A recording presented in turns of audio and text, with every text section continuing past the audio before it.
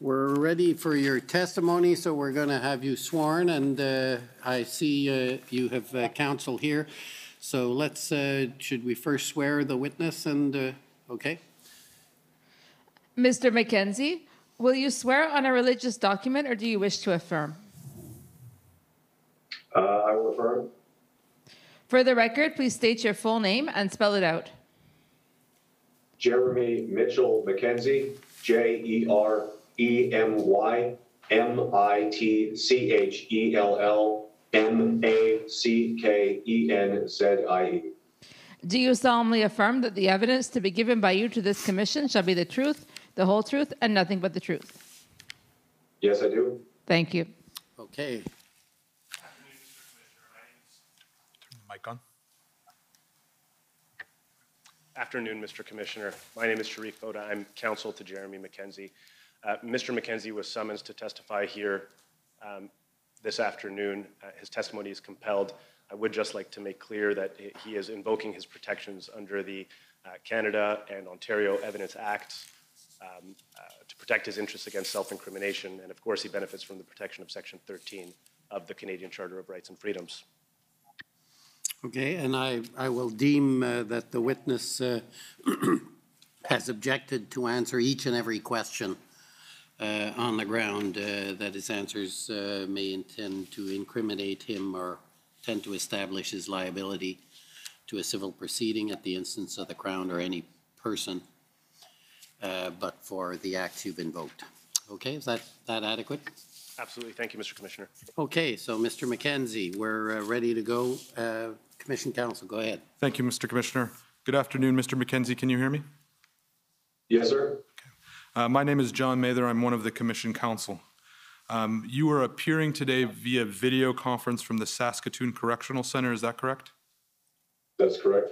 And uh, we understand that you are being held uh, in relation to charges in a matter that is unrelated to the protests in Ottawa and Coutts, is that correct? That's correct. Um, The Commission understands that you uh, you are from Nova Scotia, is that correct? Yes, sir. And where did you grow up? I grew up in uh, Pictou County, Nova Scotia. Um, And we understand that you were a member of the Canadian Armed Forces?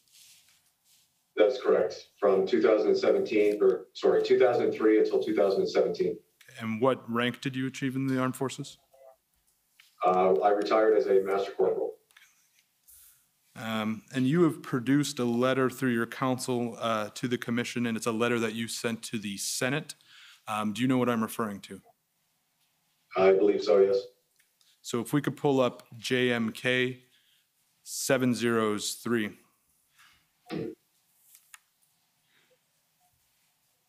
Mr. Mackenzie, can you first just let me know if you can see the document on the screen and you're able to read what it says? Yes, I can. Okay, thank you. Um, And is, uh, this is a letter that's uh, entitled Diagolon's List of Demands to the Canadian Senate. Do you see that? Yes. Okay, and I'll, I'll ask you some questions about Diagolon in a moment. Um, And can you just confirm for us if we can scroll down to the bottom? Just, again, for, for the, the commission's benefit, but also potentially yours, we see that uh, it has a signature block for you at the bottom. Um, Do you, and, uh, and there's no signature here. Do you know if you ever signed this letter? Uh, no, I sent it digitally to, uh, to the Senate members. And do you, re- do you recall when you sent it, sent it to the Senate? It was several days before the, uh, Emergency Act was, uh, revoked by the government, Sorry, and, perhaps three, and sorry, and with the audio, I just didn't catch that. Did you say before it was invoked or revoked? before it was revoked by the government, perhaps three days, three, four days. Thank you. Um, We can take uh, the letter down, but Mr. Mackenzie, I'm going to ask you some questions, and if you need to look at the letter, just let me know, okay? Um, Yes, in- sure. in- In the letter to the Senate, you describe yourself as a podcaster and a comedian. I take it that's accurate? Yes, it is. And it's the commission's understanding that you podcast under the name Raging Dissident, is that correct? Yes, Um, And uh, at one time, you had a YouTube channel, is that correct? yes. And do you know, uh, uh, at any point, Yeah, do you know how many followers that YouTube channel had? I have had several that have um, uh, been removed by YouTube for various reasons. Um, several times it's been 10,000, 12,000. I think the highest may have been 12 or 13,000. Okay. And you also have a Telegram channel? Yes, sir. Okay, and how many followers have you had? I appreciate you were giving some ranges there on your, on your Telegram channel. Uh, roughly, I would say upwards around 14,000. Um, And on the YouTube and Telegram channel, are you posting under the name Raging Dissident? Yes, And uh, I, I understand that you also have an Instagram, Instagram account using the name Raging Dissident, is that correct? yes, I do. Um, And uh, are there any other so- social media that you use? Those are the primary one. Uh, Rumble as well is another video sharing website. Um, primarily, those are the uh, the ones I, I use most heavily. Um, I also have a personal page that I typically just use for advertising links and so on on Facebook, um, Gab, and um, yeah, I believe that's it. And what's the URL for that uh, personal website? My my own personal uh, .com website. Yeah, the one you were, the one you were just referencing. Oh, I have a face, uh, just a, a Facebook page. Uh, there's a Rumble website and uh, URL, but my personal website is uh, ragingdissident.com. Thank you. Um, And do you use the messaging service Slack to communicate? No, Have you ever used Slack? no, I've never heard of it. Um, In the letter to the Senate, you identify yourself as a founding member of the People's Party of Canada, is that correct? Yes, the uh, when the party was uh, stood up, it required a certain amount of signatures to uh, register federally. I believe maybe 250, 500, something in that range. Uh, Mr. Bernier put out a request for people that wanted to support his platform and see the party created to uh, fill out a, a form and sign it and mail it into the appropriate address, uh, which I did. Right, and you, and, and you describe yourself as an enthusiastic supporter of the party then? Um, I would I wouldn't go as far as enthusiastic, but I, I am a supporter. Yes. Okay, so if we could pull up the letter uh, to the Senate again. JMK 3.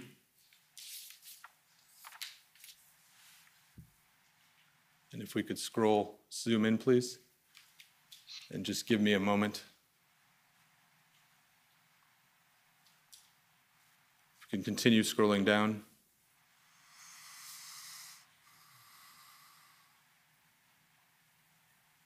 Continue scrolling down, please.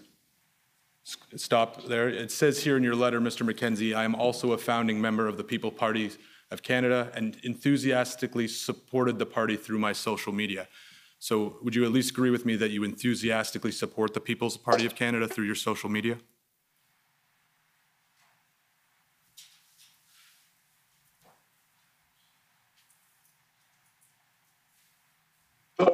Is the, it appears we're having some technical difficulties, so if everyone could bear with us for a moment.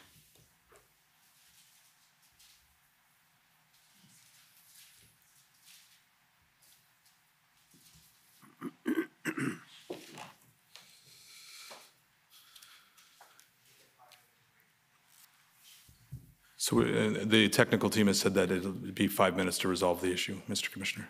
Okay, we'll uh, take a five-minute break and then uh, come back. Can you hear me right now? Yes, sir. Okay, thank you, and I can hear you, and apologies for the technical difficulty, and I appreciate your patience while we sort it out.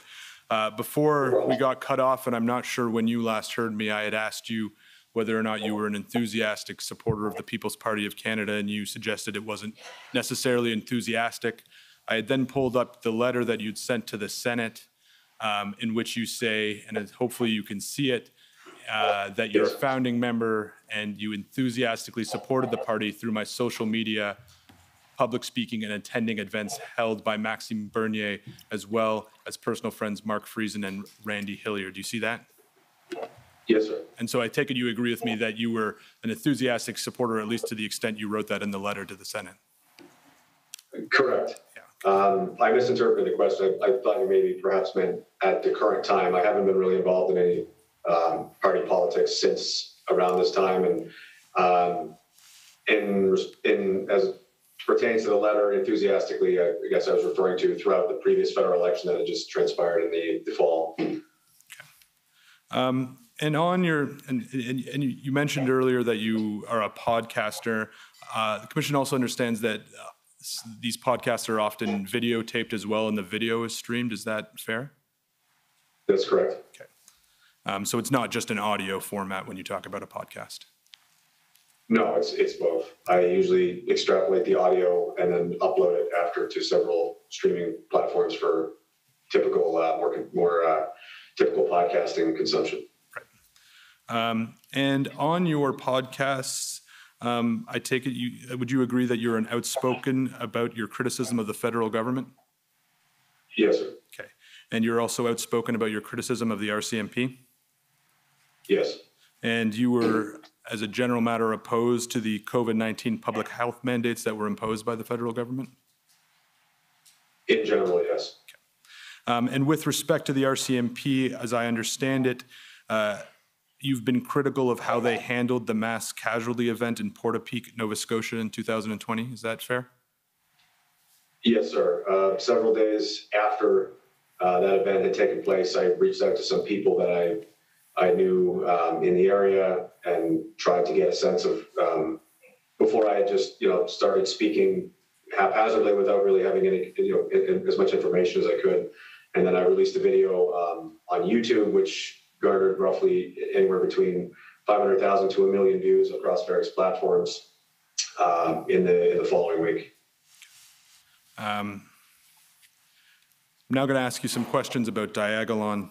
Um, Again, referring back to the letter you sent to the Senate, you explained to them that Dia- is a fictional country. Is that, is that, at least that's how, its origin, is that fair? Uh, yes, sir. Right. Um, And from the material the commission's reviewed, uh, Diagolon, uh, the, the or- origin of it was something you drew on your phone when you drew a line of, over the continent of North America from the southeast to the northwest of the continent. Am I describing that correctly? Uh, yes. So the the concept was born out of a uh, sort of a long kind of stream of consciousness. I do a lot of um, analytical commentary on current events, politics, th- these kinds of things. At the time, I believe it was January 2021.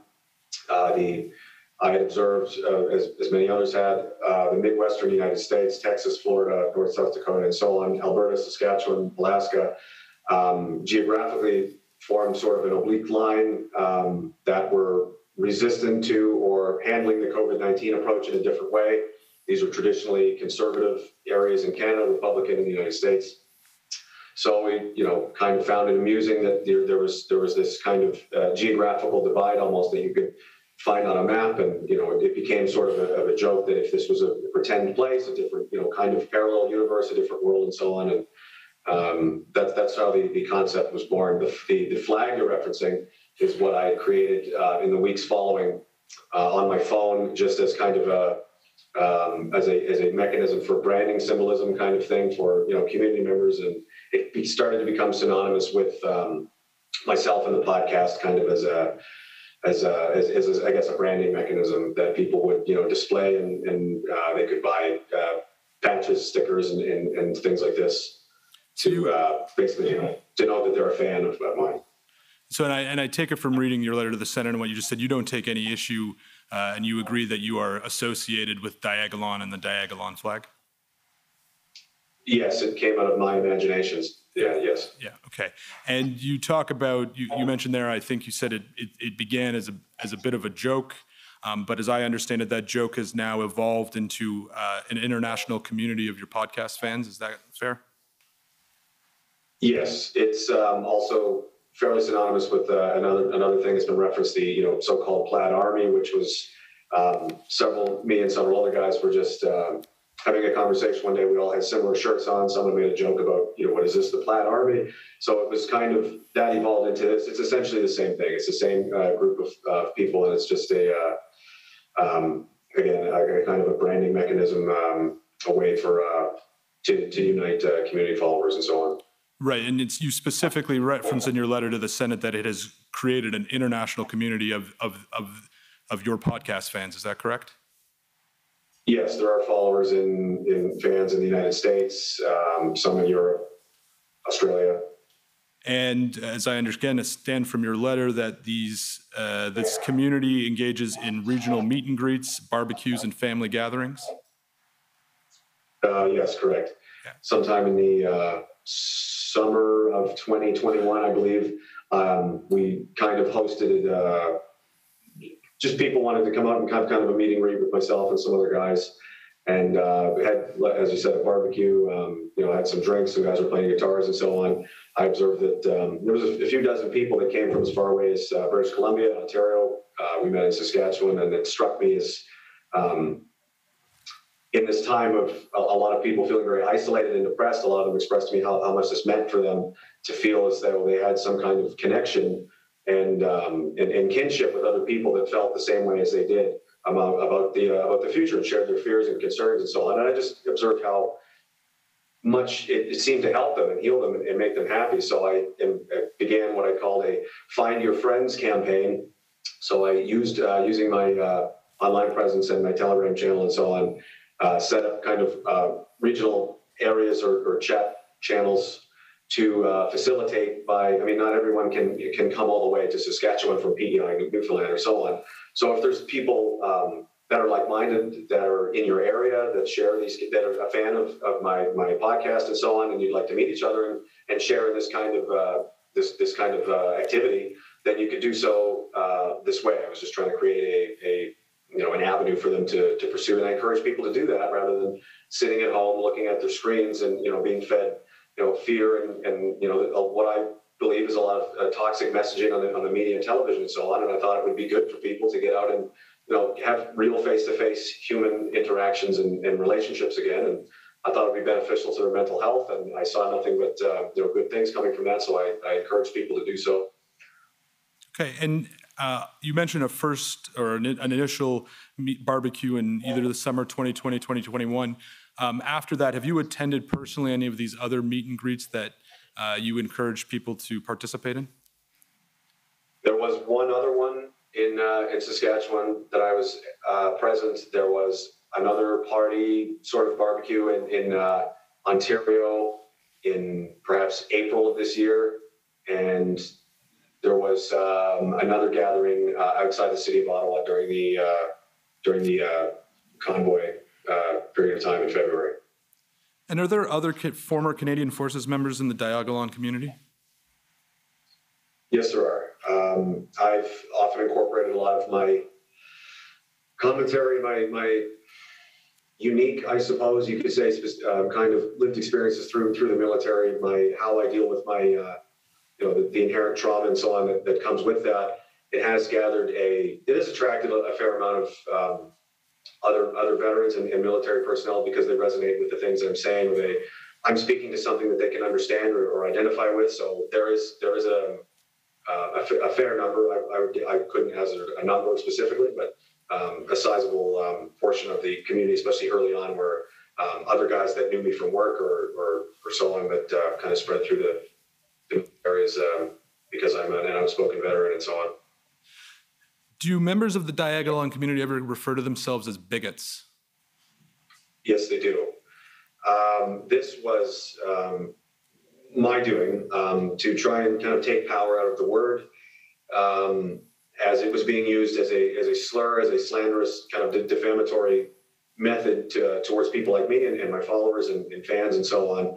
So um, we just kind of adopted as a, as a tongue-in-cheek kind of defiant way of, of shrugging it off is because it, it, doesn't, you know, bother us that these people are, you know, I show that it doesn't bother me, it shouldn't bother them, and they shouldn't care what, you know, these people think, you know, they shouldn't let, allow them to, um, you know, attack them in this way and get under their skin and make them feel bad just because they are who they are and they like what they like.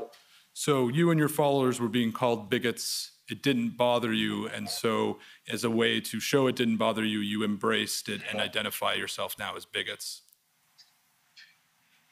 In a, in a tongue in cheek, kind of sarcastic tone, yes. And is that sort of tongue in cheek, sarcastic tone consistent with the sort of comedy that you perform on your podcasts? Uh, I would say that yes, I'm a fairly sarcastic um, person, yes.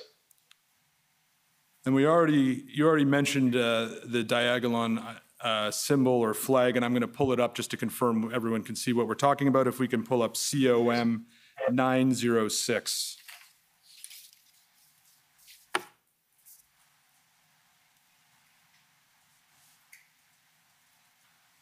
And again, Mr. Mackenzie, at any time, if you can't see anything that I've put up on the screen, just let me know. Um, So is that you in this photograph that's on the screen? Yes, it is. This was at a, um, one of the gatherings, I believe, outside of Ottawa sometime in February. Uh, I believe this is a still, uh, image from a, from a video that was taken. I was standing on top of a table addressing the, uh, the people that had arrived and attended and was just simply thanking them for showing up and encouraging them to keep, you know, taking care of each other and, you know, hope they have a good time and so on. And uh, fair to say that uh, the, the flag in the background, that's a Diagolon flag? Yes. Um, And uh, the commission is, uh, understands that on February 15th, uh, 2022, you said in a video that you could not wait until that flag is seen as a, or is, is is described as a hate symbol. Do you know what I'm talking about? Yes, sir. Again, I was being um, kind of um, tongue in cheek in a way, it, it, because the people that I believe are deciding what is and what is not as a hate symbol are uh, incredibly disingenuous and um, you know kind of smear merchants. Um, it was would have been kind of a kind of a gotcha trophy uh, over them, not as not as actually in, in, in a serious manner displayed as a hate symbol, but more of a more of a um, you know achievement that I you know kind of lured them in more to uh, to focus on myself. And do you see, and, and and I take it then that this is another sort of part of your comedy, call, wanting this to be called a hate symbol? Yes, it's because it's again, um, no one in my community would be surprised to hear me saying these things, and it certainly isn't uh, a symbol of hatred. But we find it amusing that our, our um, I guess, enemies, if, if you could say, um, do do believe this and, and believe these absurd uh, claims about us, and, and it's just kind of an inside joke at this point. You sell Diagolon merchandise, is that right? I personally, um, I have a a shop that has just recently gone online in the past two or three months. Previously, other um, you know friends of mine offered like the the flags, for example. Another man um, was selling uh, patches. He was making it cost just to help uh, promote uh, community visibility and give people something to. I thought it'd be nice for some people to have something to hold in their hand and kind of have them bring them some attachment and just something for them to enjoy and display. So the people who were selling the merchandise, they were friends of yours? Yes. They, uh, they sold it with your approval? Yes, they did.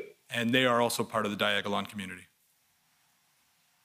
They would likely identify as, as fans of mine, and, and yes. Um, however, um, as you can probably observe, it's not a particularly complicated uh, thing to pr- produce. Um, so I don't. I, it's not a copyrighted symbol by any means. There's no real official uh, ownership to it uh, as of yet. So people would just approach me in, in of, of their own uh, you know, voluntary uh, intention and ask like, hey, do you, do you mind if I make this or make that and sell this, you know, for whatever? And I would say, you know, go ahead. If it gives you something to do, if you can make a few dollars from it and it helps you, then, you know, by all means. Right, it's not, it's not a nuanced symbol, is it, in terms of its design? No, it's essentially just a black square, and I use my finger on my phone to do this about three times with a white uh, paint marker selection. And as you, you can see, it's kind of an irregular. It's not perfectly straight lines; they're kind of irregular, and it, it is literally just my finger doing this a couple of times. And I sent that uh, image file off to be produced from there. So if someone wanted to show themselves as someone who supported your podcast or supported the Diagolon community, it'd be fairly easy for them to replicate the Diagolon flag. Is that fair? I, I would I would assume so. Yes, it's uh, not difficult to. Uh, I mean, it looks fairly simple. So, uh, Mr. Mackenzie, I think what I'm about to say will not come as a surprise to you, but in fairness, I want to ask you some questions about it. Um, the RCMP has described you in documents the commission has received sorry, I should, let me back. The RCMP has described Diagolon, let me be specific, has described Diagolon as a militia-like network with members that are armed and preparing for violence. The RCMP has also described Diagolon as having supporters that express sentiments akin to accelerationism, viewing a coming collapse or civil war as necessary to right the course of the country. In your letter to the Senate, you denied those sorts of allegations. Is that fair? Yes, sir. Yeah. And uh, in the letter to the Senate, uh, you said that you are under RCMP scrutiny because of the criticisms that you've made about the RCMP. And as I understand reading your letter, but please correct me if I'm wrong, I understand, it- I understand you to be saying that the RCMP sort of uh, is, is, is, is looking at you closely because of the way you criticize them, and that's why they're saying these sorts of things about you. That, that is my personal belief, yes. Um, there is a, um, most, many, many of the, the followers and uh, fans and so on are, um, you could say conservative Canadians. There is um, an aspect of, you know, firearms, uh, sporting, recreational culture stuff, especially in Western Canada. Um, but there's certainly not any, anything resembling a militia or anything to this extent. Moving away from what the RCMP says about Diagolon, um, I appreciate you wouldn't have uh, been able to watch the testimony, but we had uh, Superintendent Patrick Morris, who is the uh, head of the OPP's Intelligence Bureau, testify. He's not a member of the RCMP, and he testified at the inquiry that Diagolon is an extremist entity that holds extremist views. I assume you also disagree with that statement. Uh, yes, sir. It's um, my again belief and assertion that much of this um, this narrative is is coming from certain uh, actors and members of the media. Uh, the Canadian Anti-Hate Network and so on has astroturfed and kind of laid the foundation of this this idea. Um, they've been certainly paid me and, and a lot of attention over the past uh, few years and through personal disclosure documents of mine through various uh, legal uh, proceedings, it's um, been revealed that the police are actually relying upon articles, if you can call them that, by the Canadian Anti-Hate Network as open source intelligence. So they're relying upon what these people are saying about me as um, you know, taking it at face value. But to be fair, Mr. Mackenzie, you don't know what the RCMP or the OPP are relying on in their entirety when they make these assessments, do you? Correct. Um, I was going to ask you about two terms, one of which was the Plaid Army, but thank you, you've already uh, uh, explained that, so we can save that question. The next term that uh, we've seen a reference to is a term that you've used sometimes called the beach. And um, it is our understanding, but again, you can correct me if I'm wrong, that when sometimes when you reference the beach, you're referencing D-Day in World War II. Is that accurate? Yes, it comes from a line in a, uh, a movie I, I enjoy, uh, Saving Private Ryan. There's a line in that in that film right before the, the landing craft uh, descend upon uh, Omaha Beach, I believe, where uh, Tom Hanks's character says, "I'll see you on the beach," as kind of a reassuring, um, "I'm, I'm, I will be there with you" kind of sentiment. So I, I say this is again kind of, and you know, my followers are familiar with this. I've explained it several times, but that's just kind of a callback to that film and expressing a sentiment that you know whatever is transpiring in the future will have, I will be I will be there with you to support you and and you guys can support each other and so on. It's just a, a message of uh, encouragement, I suppose. Uh, you attended the protests in Ottawa in January and February 2022? Yes, sir. And you attended them with other members of the Diagolon community? Uh, yes, I did. When did you arrive in uh, Ottawa?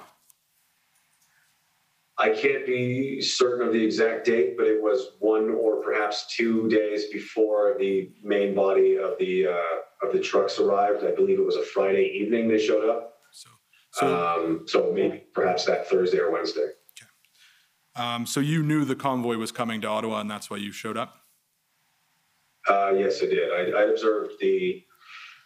It was very clear to me by monitoring social media and, and so on as, as part of what I do for to comment on social, you know, current events and you know analyze political commentary, that kind of thing. That this was going to be a very significant event. It was very clear to me this was not going to be a in and out, you know, weekend protest type of thing. There was videos of long, long, very long um, convoys of, trucks and vehicles. They were descending, coming in from multiple directions. There were um, open group chats or, or uh, voice chats and stuff where these people were communicating back and forth. You could listen in on. It was, it was clear it was going to be a, a pretty big deal.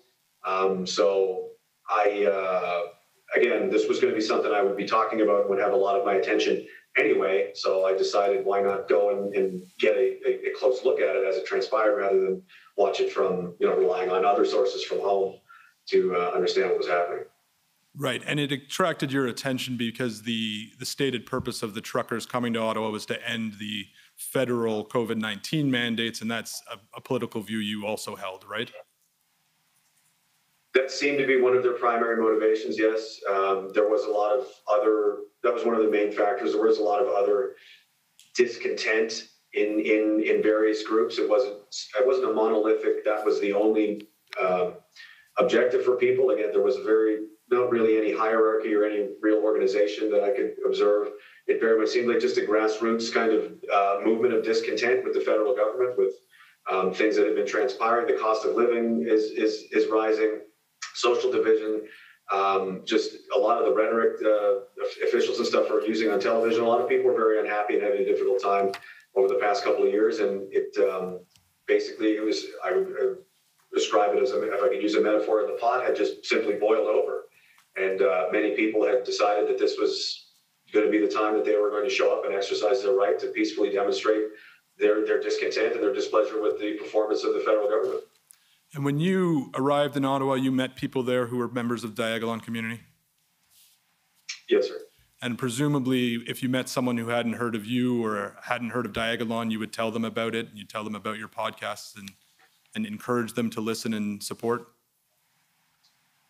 Yes, if someone was unfamiliar or they asked a question, I would just simply say, I, yeah, "Hi, I'm a, I'm a social media guy. I'm online. I have a, a podcast. It's political commentary, comedy, and, and some you know analysis and, and, and this kind of thing.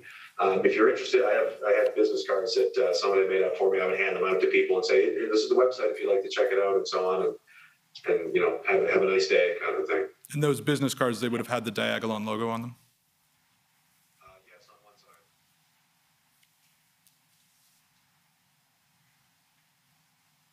Did those, sorry, it might have cut out. I asked you, did the business cards have the Diagolon lo- logo on them? Yeah, yes, they did. They have it on one side, and then one of my other artistic logos on the other side, with just simply the the website on uh, one side, and then I think it says "Find the others" or "Find your friends" on the other. And, and you suggested this is something you'd do if someone came up to you, but um, I, is it fair to say, Mr. Mackenzie, you're in the media business and you want to promote your media, so you would also actively hand out those cards? Uh, yes, sir. If someone if someone asks or they're interested or they express a desire to learn, like what what is I'm doing, it's just easier to just give them this. It directs them to the website. All of my social media links and so on are there. There's a short video. If They can go from there. If they like what they see, I presume they'll continue. If not, then so be it. Um, uh, did you attend at any point in the protest with a person named Alex Vriend or Vrend? Apologies if I'm mispronouncing the name. Yes, sir. And who is Alex Vriend? He is uh, someone I met online through um, through the evolution of my, my podcast, I suppose. I uh, met Alex in person in the summer of 2021, I believe. Um, we spent some time together in Saskatchewan as he was uh, traveling around the country, meeting people, and uh, as I understood he was just kind of in between, you know, jobs in life, and, and wasn't really sure what he, he was just taking an opportunity to uh, he bought a van and a dog and just kind of went on the, the classic Canadian road trip around the, around the country and was uh, meeting up with other people in the community that expressed a desire to you know meet them and, and you know uh, hang out. And he'd become kind of more of a prominent uh, prominent uh, person because of his. uh, he also is a content creator. He makes a lot of memes and jokes and comedic things like this. And um, so people were interested to meet him. And And his content, he posts under the name Ferryman Stoll, is that correct? Yes, sir. Um, and we understand, uh, both from your letter to the Senate and some videos that your counsel has submitted, that when you were in Ottawa, you encouraged peaceful protesting. Is that fair?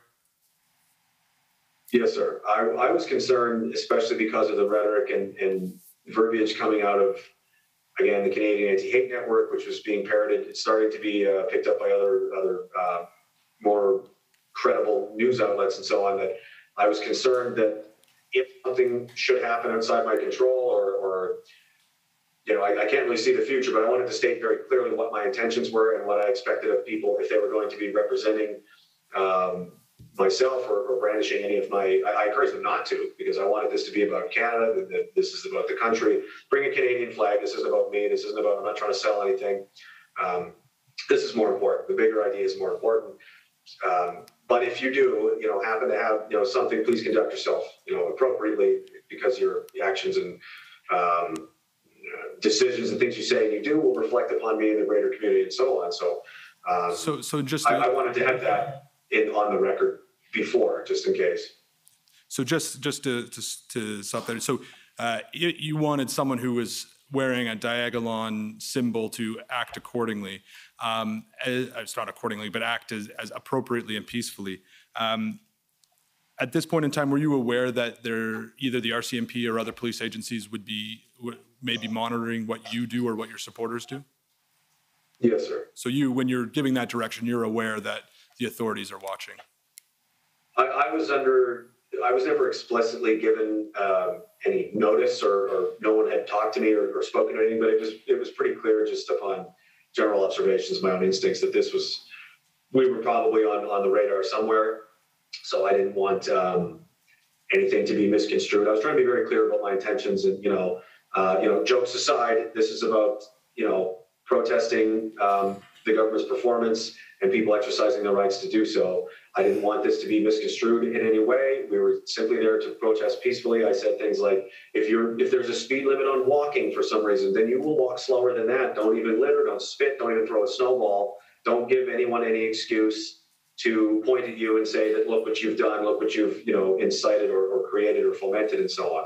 Um, because that would have undermined the entire purpose of the of everything everyone was trying to achieve. So, Mr. Mackenzie, I'm now going to read you one by one a list of names, and I may have some follow up questions, but all I want to know right now is for each name whether or not you communicated with this individual while you were in, uh, either before you arrived in Ottawa or while you were in Ottawa. Okay? You understand? Tamara Yes, Lich. Tamara Lich. No, I first um, spoke to Tamara Lich potentially in July of this year, July August, Okay. Chris um, Barber. not before. No, James Bauder. no, Brigitte Belton. no. Benjamin Dichter. I'm aware of um, who Mr. Dichter is. I personally have not had any interaction with him. Um, I was aware that he was a some kind of alleged uh, manager of YouTube channels for where he would set up GoFundMe's and name himself as a beneficiary. And Mr. McKenzie, I, I, don't mean to interrupt, and, and, and it's just, I, I want to make sure we get through it and you have time. And I just want to know right now whether you communicated with these uh, people. Your counsel will have an opportunity if there's other things that, uh, that you want to bring up. Um, did you ever communicate either before or while you were in Ottawa with a Tom Marazzo? Uh, yes, I spoke to uh, Mr. Marazzo once, possibly twice over the phone. Uh, once as I was driving back from Ottawa to uh, to the Maritimes to drop off some people that had accompanied me. They could only stay for a couple of days and have families and kids and so on. So um, I spoke to him for a couple of hours. We talked about you know our shared experiences in the military and so on. He indicated to me that he was in some capacity nearby. Um, something resembling people that were making decisions, I guess. Um, and basically just kind of connected in that, like, someone suggested we should meet each other, and I expressed to him that if there was anything that um, I could do to, to help assist, get a message out or something, that I, I was willing to do that. No one ever asked me to. And um, uh, likewise, I told him if I saw or was made aware of anything that I felt that that should be that would be relevant that they should know about, that I would inform him and and so on. But I think that was the extent of our, our interaction. I didn't uh, have any real meaningful interaction with Mr. Marazzo, I think, until around April when there was a benefit, uh, a, a fundraising dinner for the Veterans Freedom Organization Right. in How- Burlington. in Ottawa, how many times did you speak with Mr. Marazzo? At least once, possibly twice. And when was the first time you spoke with Mr. Marazzo? It would have been sometime during the first uh, week, I believe. of when the trucks arrived. I was in the process. I remember I was driving my truck and it was over the headset. Um, the other guys were sleeping in the truck while we were talking. So some somewhere in between Quebec and New Brunswick, I couldn't say. So sometime before January 28th? I'm not sure. I'm not sure of the dates of when the trucks arrived and when they left. But so, sorry, and, and, and, and there's evidence of when the trucks arrived, but it was some point before the trucks arrived. Is that correct? No, it was after. It was after. How long after? I would say roughly a week, Roughly a week. seven to ten, seven to five to eight days, perhaps. Fair enough. When you were in Ottawa, did you communicate directly with any Ottawa police or OPP? Not to my knowledge. Uh, I did have some friendly conversations on the street. You know, just hi, how are you? How's it going? You cold out? You know, that kind of thing, but uh, nothing significant. Did you receive from any, sorry, I think there's a, did you receive from any sources information about police operations or police enforcement plans while you were in Ottawa? Yes, there was a user that contacted me, I believe on Telegram, I would say again, summer of 2021, who self-identified himself as a uh, RCMP member. Um, just kind of friendly, expressed to enjoy the podcast and like what I was saying and so on. So there was a, a loose relationship with this, whoever this person was.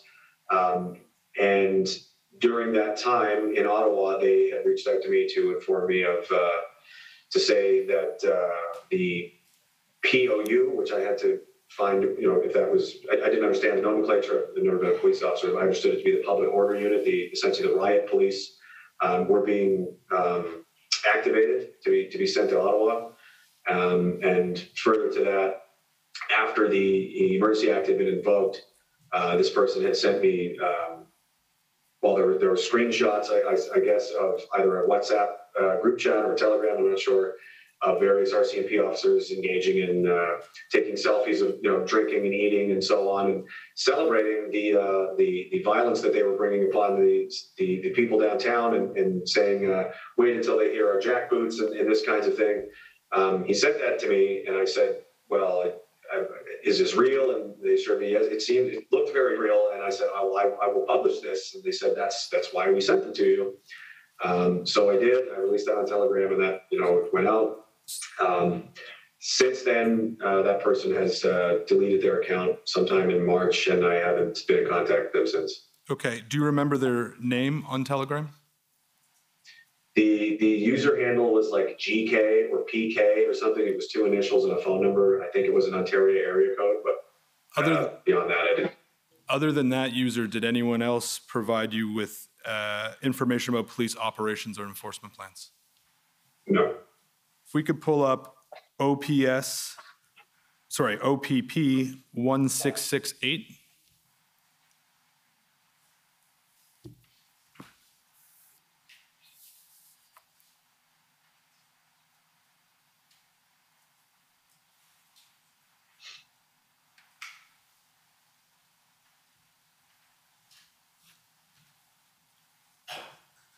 And then if, sorry, if we could go to page five, please.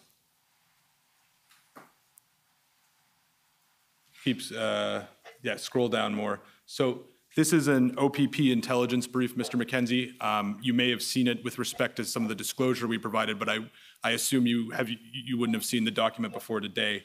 Um, I'm going to ask you, uh, if you look at item two, uh, it says, well, actually, for context, look at item one. Um, It talks about a video posted to, the name is redacted, but it says the name of the Instagram account, it says Raging Dissident. So that, that would be you, Mr. Mackenzie? Yes, sir. As far as you know. And then item two, again, talks about a video posted to the Raging Dissident account in which uh, uh, the poster uh, shares information credited to police sources that disclose enforce- enforcement plans, and then it provides a bit of a description. Is that the information that the user on Telegram provided you? Yes, sir. Okay.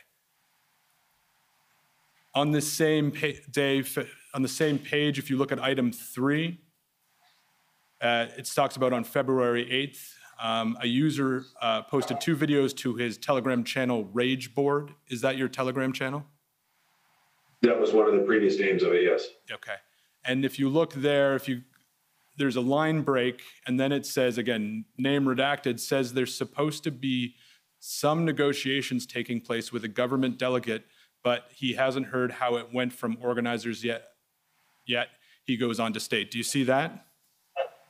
Uh, no, sir. Sorry, let me, I'm, I'm talking a little quickly. I'll Oh, yes, yes. Yeah, do you- Yes. Sorry, sorry, I caught up. and take your time. I want to make sure that you're reading this uh, before I ask you questions.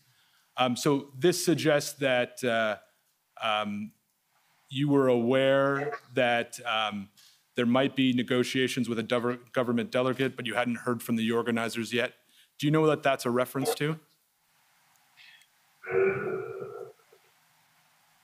I can't recall. I, I, I remember being under the impression that there was some form of negotiations taking place between um, some sort of uh, leadership apparatus for the, the uh, convoy and the perhaps city city of Ottawa, RCMP, OPP, not sure, the, the police and the, the convoy people. Fair enough. Um, How did you learn that information? That is a good question. I think it may have just been kind of common knowledge that there was something like that was taking place. More of a rumor, perhaps. Um, the as it goes on, uh, yeah, the, the public order unit. I was that was that was uh, given to me specifically by this uh, by this user on Telegram from the RCMP. Alleged that they allegedly they were. Right, and you're talking then about the part that's in bold after that, is that correct? Yes. Okay. Yes. Um, Are you aware that Tom Marazzo met with C- City Manager Steve Kanellakos on February 8th, 2022? No, sir. Did Mr. Marazzo ever talk to you about meeting with Mr. Kanellakos or meeting with any government officials in any of the conversations you had? No, he did not. Have you ever spoken with Keith Wilson or Eva Chipiuk? No, sir. We can take that down. Thank you, Mr. Clerk. Uh, Mr. Mackenzie, I think you think, agree with me, it's fair to say that you were critical of the federal government's response to the protests in Ottawa and Coutts. Is that correct? Uh, yes, sir. Um, initially, uh, it was I, I had no uh, no issue. Actually, I thought it was handled very appropriately. There was a, uh, strong police presence, but also there was a large number of people. Um, so inherently, there is a danger that there's uh, going to be you know something can happen. So it, it made sense. Um, I didn't take any issue with uh, anything that I they had uh, seen until um, they started becoming a little more aggressive here and there. There was an incident where some fuel cans were stolen or seized or, what have you.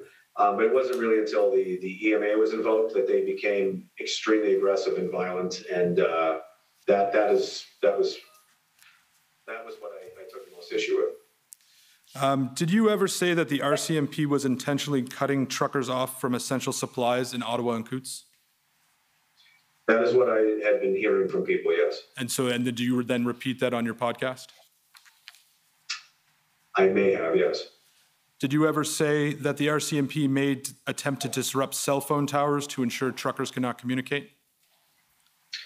that again was another um, another uh, scenario. There were people having a lot of issues with their cell phones. Um, that may or may not have been the conduct of some kind of interference. It could have just been too many cell phones, not enough towers. I'm not sure, but that again was another kind of running uh, suspicion and theory at the time. Fair enough. And My question right now is, is if you recall, if that's something you said on your podcast, that that was something that had been, was being said. I may have, yeah. And did you ever say on your podcast uh, that, uh, or did you, sorry, let me back up. Did you ever distribute, distribute or know of anyone distributing uh, contact information about the members of the Ottawa Police Service? not to my knowledge, no. We can pull up ssm.nsc.can.00001575 underscore rel point zero zero zero one. Apologies for all those digits, Mr. Mackenzie. Um, So scroll up to the top, please, just so I can uh, give the witness some context. So, Mr. Mackenzie, this is a CSIS analytical brief uh, dated February 21st, 2022. And if we could go to page three of the brief, please.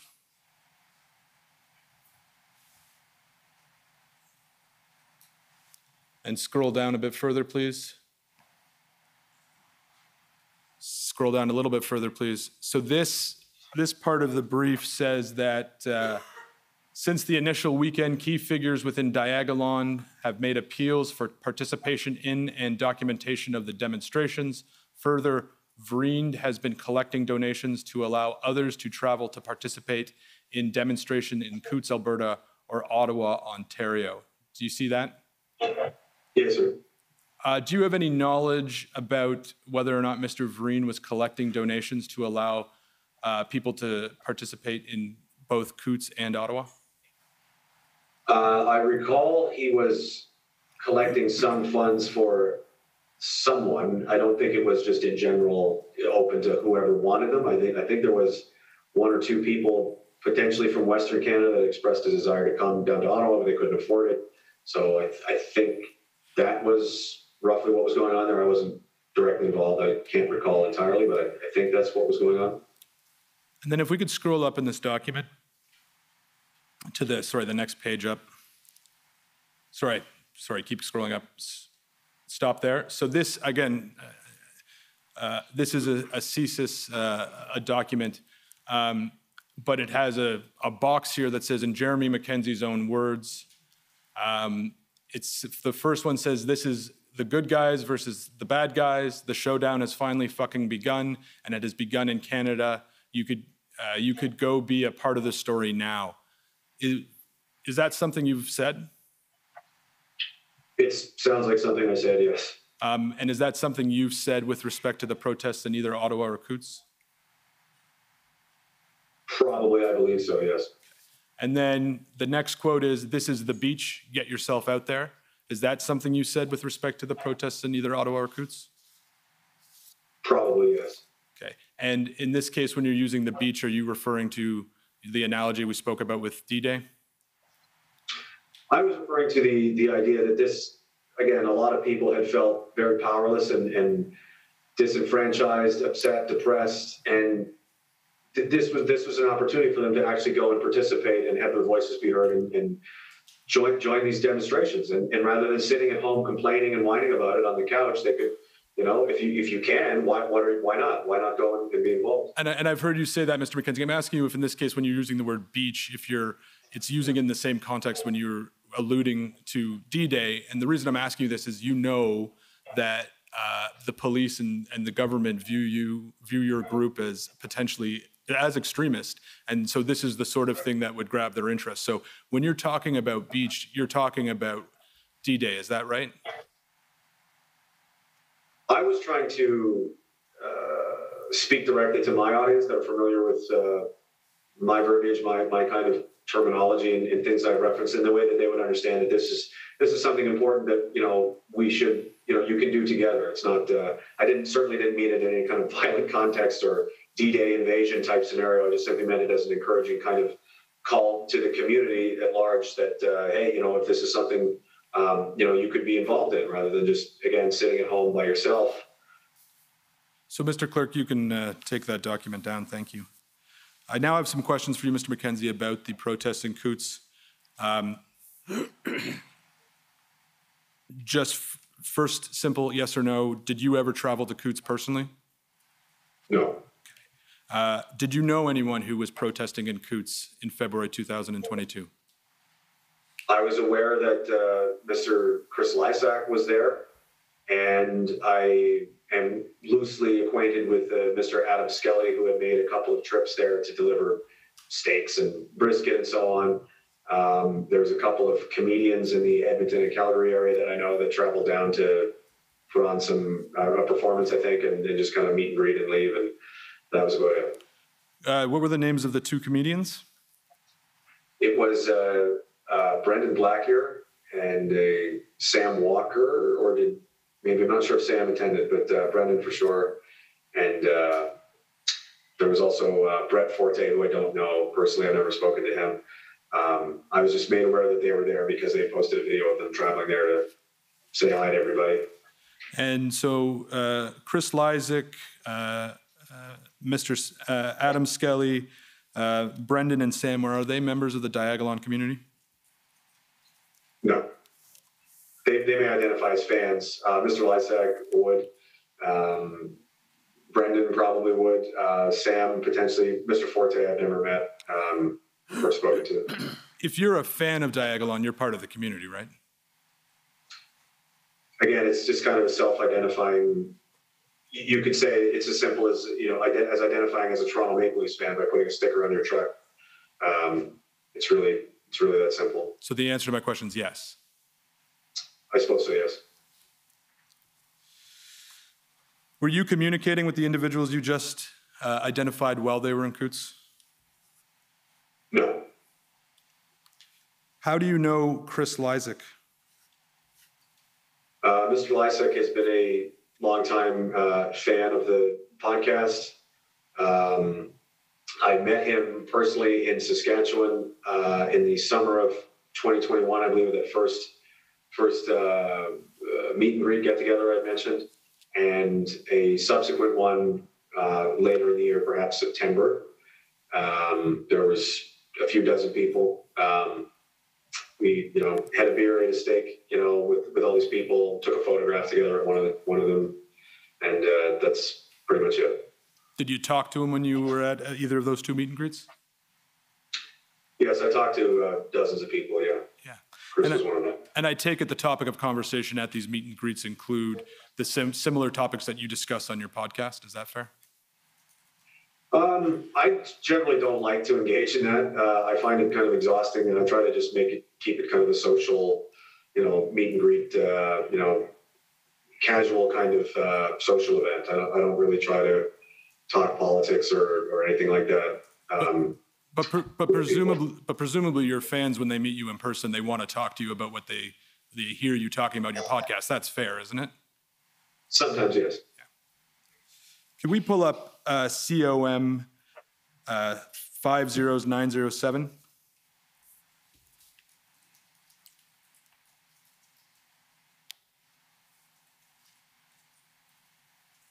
So, Mr. Mackenzie, um, can you please identify the people in this photo? Yep, that's uh, that's the photo I, I just mentioned. I posted it to my Instagram page. That's myself on the on my left and uh, Mr. Lysak on the right. Right. And this was this at the first event in Saskatchewan? I believe so. Yes. Okay. And just to be clear, Mr. Mackenzie, other than that event in Saskatchewan and, uh, uh, and then the other event in September 2021, is there any other times you've met with Mr. Lysak? No. Did you communicate with him at any time other than at those events? Um, Mr. Lysak may have been in some larger uh, online group chats where there's 30, 40 other people involved. Um, never, to my knowledge, never directly one on one. He has called me twice, I think, since he's been incarcerated, um, just simply to say hi, and I just try to offer some offer some encouragement to him and hope that he's doing well, etc. So you spoke to him after his arrest in Coutts? Yes, sometime this summer. Um, and I asked you generally about the people you identified who you knew in Coutts, but with respect to Mr. Lysak specifically, did you understand him to be a fan of your podcasts? Yes, sir. And you understood him to be a member of the Diagolon community? Uh, yes. Um, Are you aware that Mr. Lysak, or at least there's been reports that Mr. Lysak had a Diagolon flag flying outside the house in which he lived with his father? I have heard that. Yes. Yeah. So if we could pull up COM 917.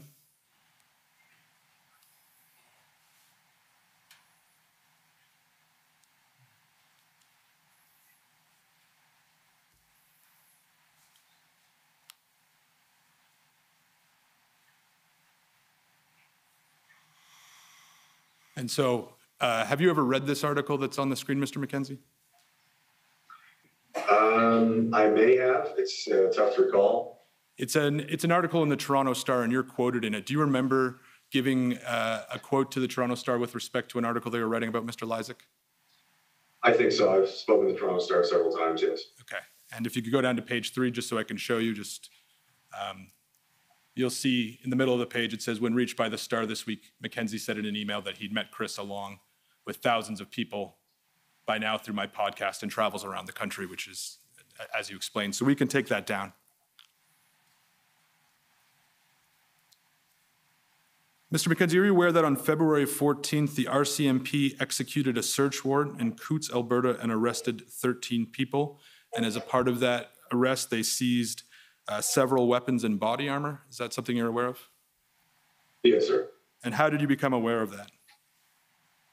I uh, was made aware of it by once it uh, hit the media either that evening or the following day. Um, And when did you become aware that Mr. Lysak was one of the people who was arrested? It was right around the same time that uh, word had spread around the community that he had been arrested was as part of the 13 or, or whoever many other people were arrested. And are you aware that Mr. Lysak was charged with conspiracy to murder, uttering threats, and possession of a weapon? Yes, sir.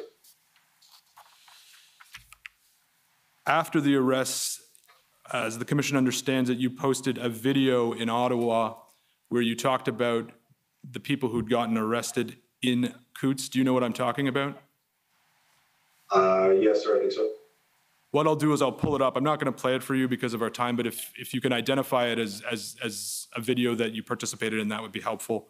Uh, COM uh, 50911. Actually, might just play the first maybe 30, 30 seconds or so. And type if you're not, if you just want to give a shit. Please, in your thoughts, keep the boys in Alberta. They got arrested. We haven't heard from them. We don't know what's going on. Uh, there's some rumors they're, they're getting fucking charged with some heavy shit.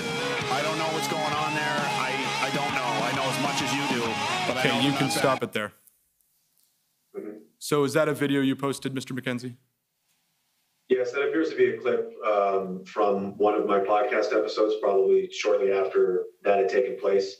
Um, at the time, and still presently, uh, I'm very skeptical of law enforcement, um, especially considering the political nature in which there appears to be a lot of interference going on in the country.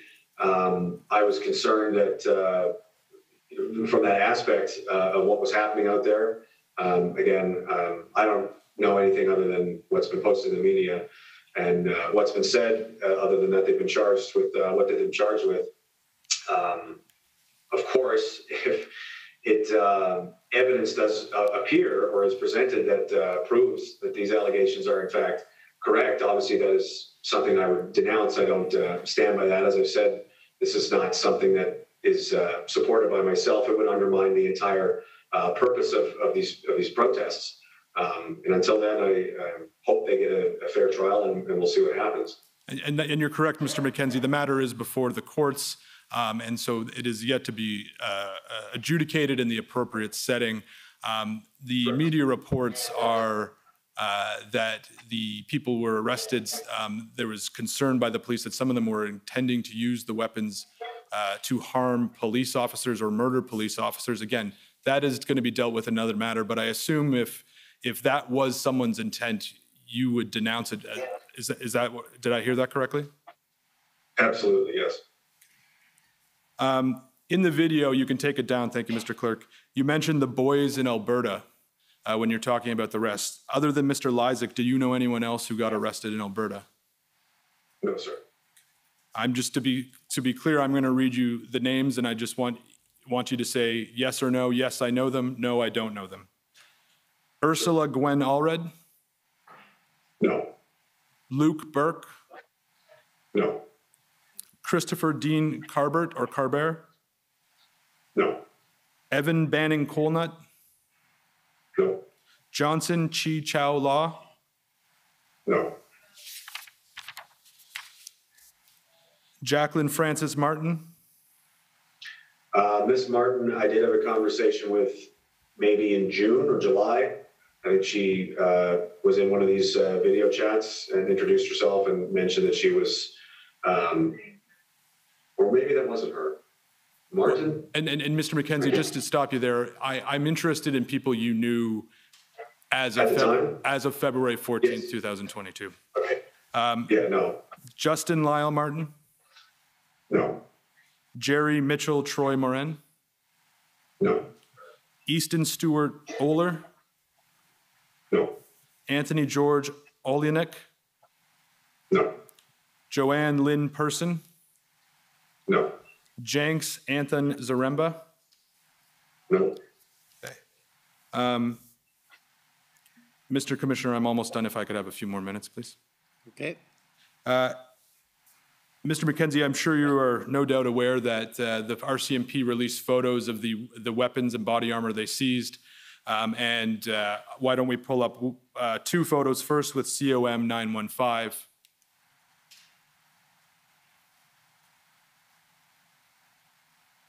And if we could just scroll out, and this is just to give you some context, Mr. Mackenzie, this is the larger photo showing the weapons and the ammunition and the, uh, the, the that were received. And then if we could pull up COM 916, and what I'm going to show you is a photo that's zooming in on the vest that if you're looking at the photos to the right.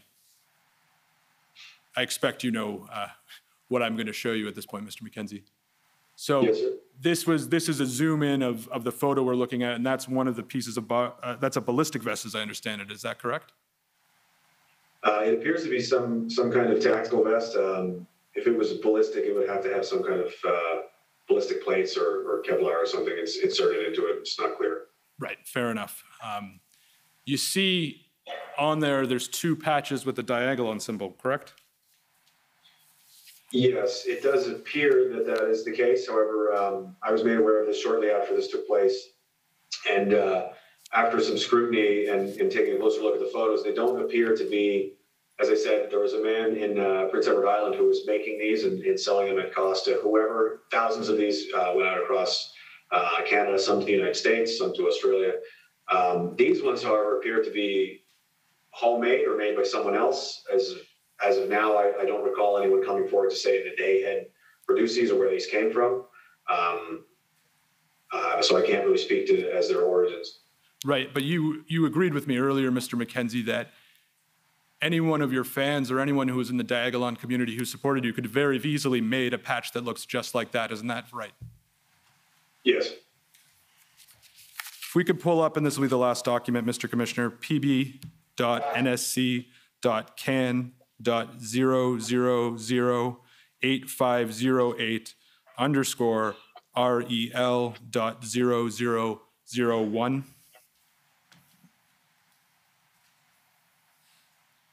So, Mr. Mackenzie, again, this is a, a document, this one's from the RCMP K Division, and it's a, a form of report about um, uh, the, the arrest that we've been talking about in Coutts, Alberta. And if we could scroll down to where it says current situation, uh, it says in the second bullet point, a ballistic vest was seized during the search warrant at the residence in Coutts, which contained a patch reflective of the Diagolon flag. It is believed that this vest belongs to one of the accused, Christopher Lysak. Open source information has linked Lysak to redacted name. So, Mr. Mackenzie, this isn't your report. I know you didn't produce it, but you would agree with me that from the RP RCMP's perspective, they believe that the vest with the diag- diagonal symbol was Mr. Lysak's, correct? That does appear to be what they Sorry, believe, uh, yes. yes, wait a moment. Sorry, your counsel had an objection, so. Yes, It's unfair to this witness to ask him to speculate what uh, the- is in the RCMP's mind and their perspective about intelligence. uh, I think maybe the question wasn't that well framed, but the, the quote speaks for itself. He, he could ask whether he agrees with, with the quote, uh, is, is, is on the RCMP letterhead. I mean, it's really not much further than that, I take it. No, I, I actually withdraw the question, Mr. Commissioner. I agree that he has no, uh, uh, he, he, he doesn't know why the RCMP made their observation. So I agree with that and I withdraw it. And those are my questions. Thank you. Okay, so uh, now uh, we'll go with the first the convoy organizers. The convoy organizers are ceding their time to Mr. Mackenzie's counsel, sir. Okay. Uh, Government of Canada.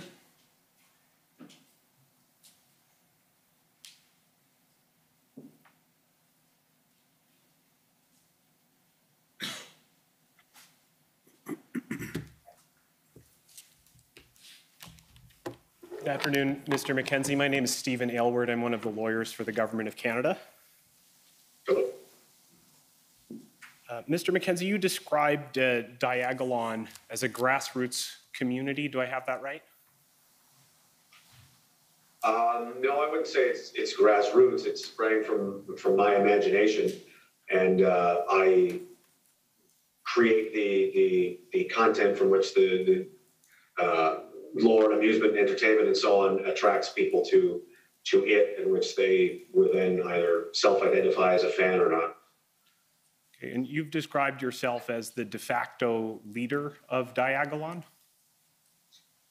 No, that's not correct. I've never described myself in that manner. That's a that's been put forward into the media again by people at the Canadian Anti-Hate Network. Again, this is a, a figment of my imagination in a in a fictional world. I, I see. So the, uh, can't really lead a, a fictional world exactly. the, the letter to the Senate that Commission Counsel brought up earlier, you had described yourself as a de facto leader in quotes. I take it then you're, you're saying that was being used ironically in that context. Yes, I was trying uh, to to identify myself as the person in question that the Senate was um, debating about, and and the House of Commons were talking about, uh, which alarmed me. And uh, I was acting in the interest of protecting um, not only myself but other people that identified as fans and followers of mine. And it was clear that this was a uh, an issue of national importance, and I felt obliged to say something about it rather than um, ignore it. Right. And you have no formal authority over anyone who's uh, part of the Diagolon community, is that right? That's correct. There, there's no hierarchy. There is no uh, rank system, membership, code of conduct, uniforms, anything like this. It's a very informal. Uh, again, I would pose it as if you're a fan of the, the Calgary Flames or Montreal Canadiens or not, or something. It's just as simple as saying you like it or you don't. Okay, and you, you view yourself as uh, somewhat of a calming presence within the Diagolon community? No, I, I would view myself as the the I guess central figure from which the rest of it sort of orbits. Okay, you're, uh, earlier you agreed with Commission Counsel that you had put out messages urging people in Ottawa not to use violence or to act unlawfully. You agree with that? Correct. I, I do use my platform to uh, try my best to again put put forward messages and, and And I guess uh, responsible uh, messaging. Yes. and you were putting out those messages because you were concerned that some members of the Diagolon community would use violence or would act unlawfully. My concern was that something could happen uh, outside of my control, and I would rather have had say something on record of what I would expect people to, you know, to behave uh, lawfully and peacefully, um, so that they, if they follow me and listen to me, and they've heard that, and then chosen to act on their own and, and do something, um, something outside the desires of, you know, myself, then that's. Um, not really something I can control. I can't control what other people want to do, but I did want to make it clear that this was this was my intention was a peaceful demonstration. And uh, you explained that you, there were other members of the Diagolon community with you in Ottawa at the time of the Freedom Convoy. That's correct. How many would you say? Um, there was a a, a property that uh, we were staying at outside the city limits that had been offered up by by someone who um, was a fan. He had a, a vacant uh, building, no furniture, but you know it's got a roof, it's got heat, so you could stay there. At times there were three, four, or five of us. Other times as many as twenty. And were there other people that you saw in Ottawa with Diagolon uh, symbols who weren't part of that group? I didn't personally observe any uh, one one individual I did see that had had a flag, but outside of that, I didn't see any uh, any symbolism or flags or patches or so on. I did encounter a number of people that recognized me and wanted to have a, a picture and, talk and shake hands and so on.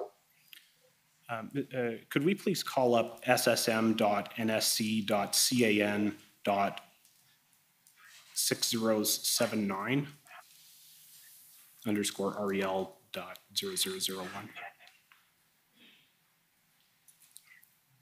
Um, Mr. Mackenzie, are you aware of reports that members of the Plaid Army put out a uh, YouTube video in which they expressed the hope that the uh, Freedom Convoy in Ottawa would be the Canadian version of the January 6th riot in Capitol Hill?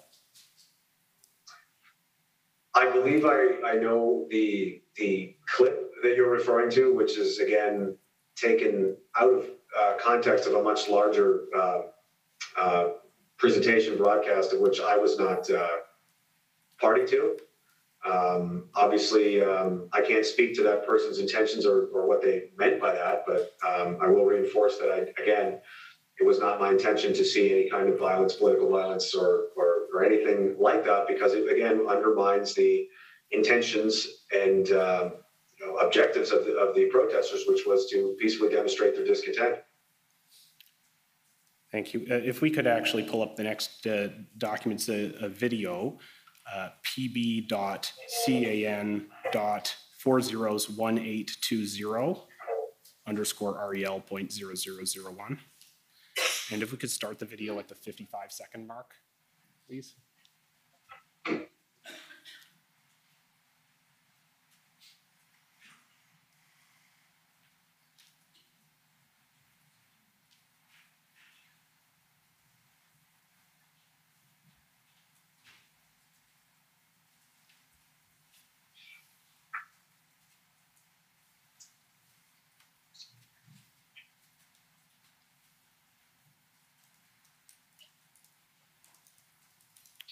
Just while we're calling that up, um, you- you're aware that there was a deal that was struck between some of the protest organizers in Ottawa and the city of Ottawa?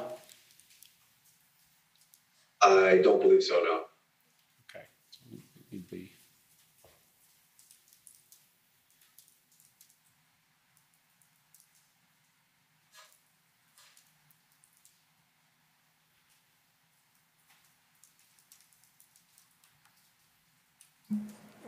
Counsel, if you'll just allow a brief indulgence, uh, we're having a bit of difficulty locating that.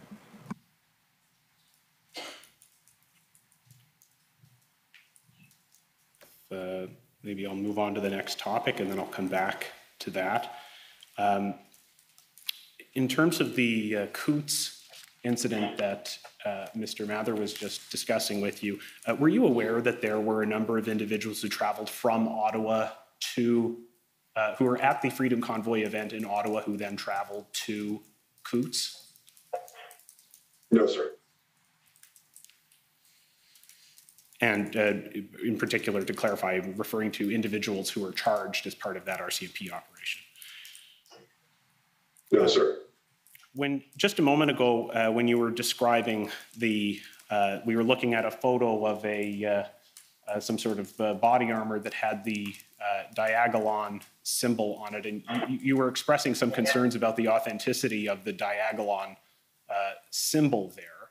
Uh, Just to be clear, were you suggesting that the Diagolon symbol had been planted there by law enforcement? Again, at the time and still, I am skeptical of, um, of the RCMP in particularly, but law enforcement in Canada, there is a history of things like this taking place. Um, it's not outside the realm of possibility that something like that is very easily replicated, could be planted. I'm not suggesting that it certainly has or has not, but I would leave that open to possibility, yes.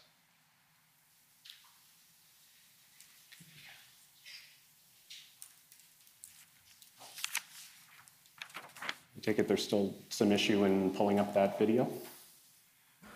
Correct, Counsel. Is it going to be a while, or should, uh, should uh, this be put off to a little later? Um, This may take a little while, Commissioner. Okay. So maybe if, if you're agreeable, uh, you can complete your examination subject to this video, and we can slot you in uh, a little bit in maybe 10 minutes whenever this is sorted out. Yes, that's fine. Is, uh, I, I did have one other video clip that I wanted to play. Um, Is it possible to pull up um, the, uh, a different video clip? Uh, Sure, Counsel, I can global problem. assist uh, if you have the doc ID. uh, Yes, okay, it's COM 50911, the video that was played earlier. And if we could just start that around the 30-second mark?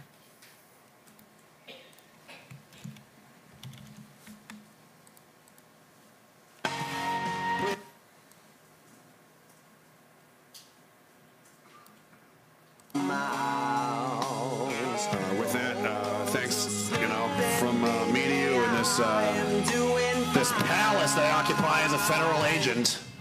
When there isn't anything I want. I'll see you when I see you, and I'll upload what I can upload and do what I can do. Cheers, guys. Thank you so much. I appreciate it. Uh, I hope you had a good time. I hope you feel better. All you truckers out there, all you guys, hold the fuck down. Nobody's going anywhere. You're not, you're not scaring anybody. You want to fucking dance? Let's dance. Force a tyrant to act like one. Succeed in that? And I, as, as promised, I want to play you this video. Uh, this uh, uh, it's from my, my good dear friend Greg Arcade. You're a legend and a, a, wonderful man. Uh, I love you, brother. Thank you so much for the work that you've done and continue to do for this country and your people. Uh, you're an underrated person, and uh, in the words of the ferryman's toll, Uh,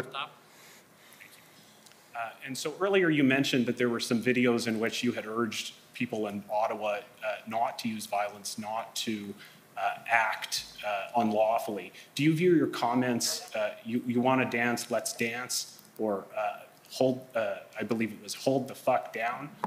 Do you view those comments as in line with, with your earlier messaging?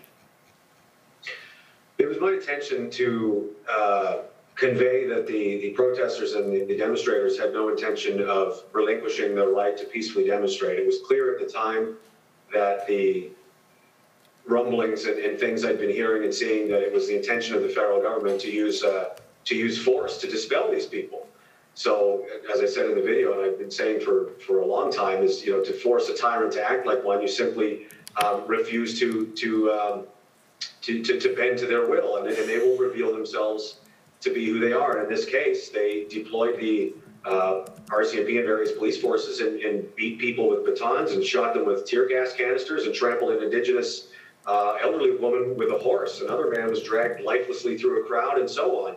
So that was the price that uh, people were willing to pay and endure uh, for for the Canadian people to show them um, the true face of what it was they were standing against. Okay, thank you. Uh, Subject, if I might ask for just two uh, minutes later to address that issue with the video. I subject think it's now available. Oh, it So, is. so counsel, I believe it's been renumbered to E POE.DOJ 6014. Okay, It's an eight-minute long video, correct? Yes, that's right. Okay. Uh, If we could start it at the 55-second mark, please.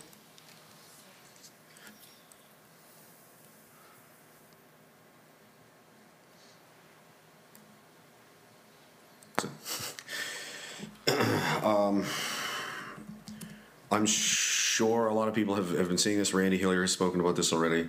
Um, tomorrow, allegedly, there's some kind of deal being signed or agreed upon by, you know, the quote unquote uh, truckers uh, with the city, with the government, however, and they're going to move some vehicles and relocate and this kind of stuff. Um, it's been expressed to me by, by people, you know, connected inside the inside the uh, the movement there to, to the actual truckers um, that the, the this this this leadership cell of uh, you know political operatives like uh, Dichter and Dagny um, are, are not playing. Uh, they're not on. They're not on side, guys. They I was told they haven't released a dime of the money at all. Um, these guys are sitting out there, you know, they're they're paying. They got nine thousand dollars a month to making these payments on these trucks, and they're not they're not getting paid. Um, you know, they're missing mortgage payments now. Um, and this this deal tomorrow is uh, fraudulent. Um, a lot of the names that are attached to it, um, people, you know, have have. Exp- Uh, So does, I- I mentioned a deal earlier between protest organizers and the city. Does that video, does that refresh your memory about that issue? Uh, yeah, apologies a, a bit. I was unclear as to what you what you were referring to. It's something. Is, I think there was a some kind of negotiation was taking place to move some trucks from one place to another. Um, I don't. Again, I wasn't intimately involved. I don't know exactly the details of that, but um, to some extent, I, I'm not uh, not sure exactly. Safe to say you were urging your followers not to go along with that deal. I was expressing concern because at that time um, there was a number of names that had appeared that somehow had uh, gotten into the leadership cadre or something, as, as you could describe. That I was very skeptical of their intentions, and I had some skepticism and fear that this was uh, so things were moving in a, in a, in a malicious direction. Thank you. Okay, thank you. Uh, Next, I think it's the uh, uh, Ottawa Coalition of Residents and Businesses.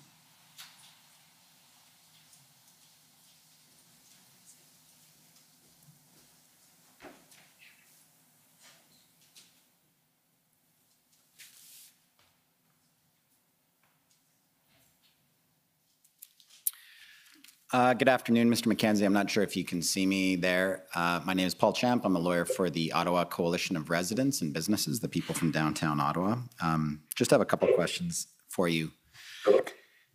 Um, You mentioned uh, in your testimony about getting um, the screen captures of of text, uh, group texts uh, from RCMP officers. You got that from a current RCMP member, is that right? At the time it was um, delivered to me, I understood that to be the case. I couldn't speak to if this person is still employed or not. Okay. And um, do you occasionally have interactions uh, of people who are fans or are interested in what you say or supporters uh, who are current uh, members of law enforcement? Yes, that's correct. And uh, while you were in Ottawa, were you, uh, during the, the convoy protest, were you in communication with some of these uh, individuals who are current law enforcement members and are supporters of yours? Um, not uh, not directly, no.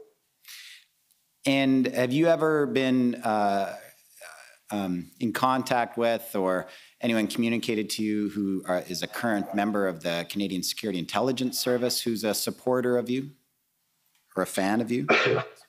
Uh, no, I've actually made um, numerous overtures and offers to speak to the Canadian Security Intelligence Service to try to um, shed some light on, on you know myself and this community that they seem so concerned about. And as of today is the first day that I've ever been asked a single question by anyone in any official capacity about it. Right. Um, and you mentioned that uh, you had um, three or four people, or sometimes as many as 20 people staying with you in the same location in Ottawa. Is that right? Correct. Yes. And those were up to 20 people who were uh, uh, supporters or fans of yours? Yes, that's correct. And uh, some of these people were uh, former uh, members of the military or current members of the military? Veterans like I- yourself? Do not think so. Um, I'd have to go through a list and refresh my memory, but no, no one's jumping out at me. I don't think so. I believe they're all uh, civilians. Okay. Uh, did any of them uh, uh, did any of them uh, bring any firearms with them? Uh, no, sir. I actually went out of my way to make sure that was adamantly very clear that that would uh, not be something I would I would uh, endorse and is not a good idea. And again, would be a very dangerous situation. It's illegal and it's undermining um, the objectives of the protesters. For sure. Um, yeah, you were concerned about that, right? That um, some some people in the protest uh, might undermine the purpose of the protest by becoming violent. And you didn't want, want that to happen, correct? That's correct. And that's why you made that message out to people to, to not be violent. Is that right? Yes, sir. Because you, you knew some of the people who were there could be volatile and could be uh, violent. Is that right?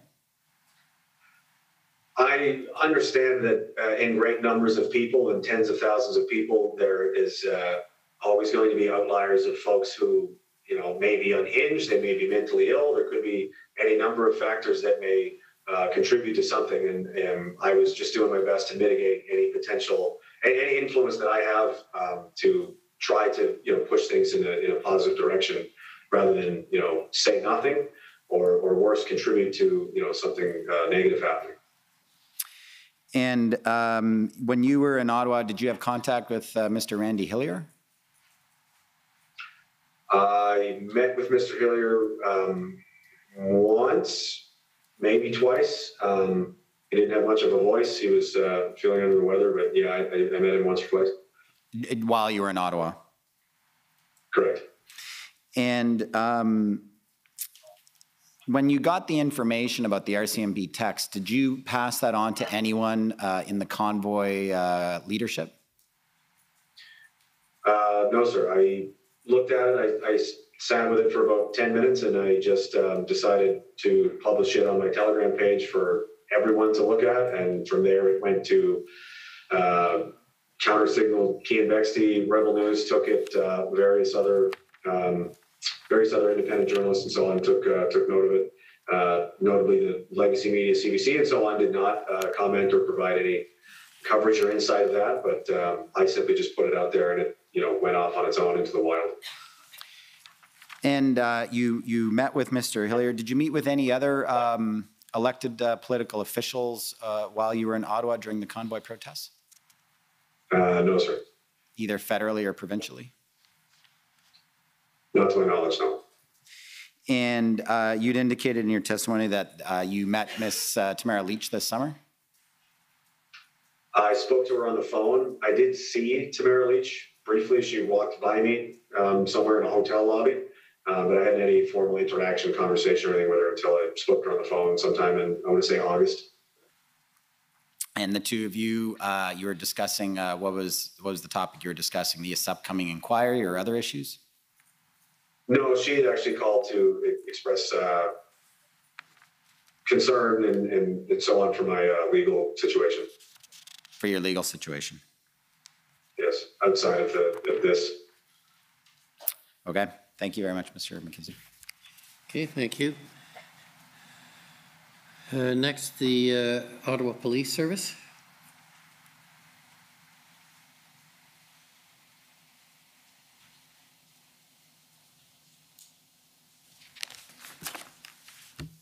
Good afternoon, Mr. Mackenzie. My name is Jessica Barrow, and I'm counsel for the Ottawa Police Service. Can you see and hear me all right? Yes, I can. Hello. Excellent. Um, I'm going to start with something that you testified to earlier, and you indicated that uh, in the lead up to the events in Ottawa, you were of the view that this was not going to be what you referred to as an in and out event. Um, but just to be clear, you were not one of the organizers of this event, correct? That's correct. I, I believe I may have been misconstrued as such or, or perceived to be a, a bigger personality in this simply because of my social media presence and a video that I had released basically reacting to um, the convergence of, of the trucks moving towards Ottawa. I was, you know, kind of excited by it and interested in what was going to happen. That, that video achieved a, a fair amount of uh, traction and plays. So I think maybe people associated me with that for that reason. Uh, however, I no, I had no time to have any contact with any organizers. I didn't um, ask for any money, take any money, give any money. I had no hand in logistics, planning, a- anything like that. I was simply uh, there of my own volition to observe and you know just be there for the experience. So you really had no knowledge as to the specific intentions uh, of the organizers, except for whatever perhaps you were seeing online. Is that fair? The as, as far as the intentions were concerned, I was um, basically just collating the information that I could find in, in social media, what, what people were saying. I was aware of who some of the people were um, uh, for that reason, and um, they were echoing the same, you know, similar kind of sentiments. They were there to, you know, to uh, protest and, and show their discontent and, and uh, exercise their rights um, to do so and so on. Um, I didn't have any, I, I didn't see anything disagreeable with that. I didn't see any um, intentions of, you know, uh, violence or, or so on. Right, but with respect to your comment in terms of this not being an in and out event, um, are you aware that the organizers or some of them testified earlier this week that this event become became much more significant than they had really anticipated? Um, no, I was not. I haven't been able to uh, view much of the or hear much of uh, what's transpired earlier. It was apparent to me just simply because of the the Canada's a very large country, and uh, the effort required just to simply go to Ottawa from Alberta and British Columbia, um, in Halifax and so on, um, indicated to me, and the numbers at which people were going indicated to me that this was not going to be a, a, a quick uh, trip to the to the city, as it were. Are you aware that uh, similarly that some of the organizers testified that they had not anticipated staying as long as they ultimately did? Uh, no, I'm not. Okay. Uh, I'm going to move on to the issue of social media. Obviously, we heard uh, some testimony from you today about the, your particular use of social media. Would you agree with me that social media is a tool that some people use to influence the actions of others? Yes, of course. In fact, it's actually a career now, being a social media influencer.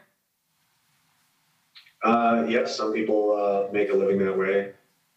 And it's a tool that's used to encourage people to buy things or uh, used for social advocacy.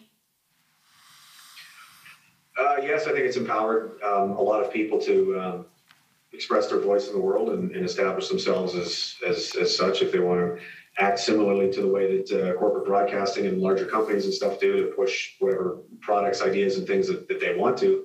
They can now compete with them in that same kind of uh, that same kind of space, I suppose. So then I take it you would agree with me that social media has the power, both unintentionally and intentionally, to influence the actions of others.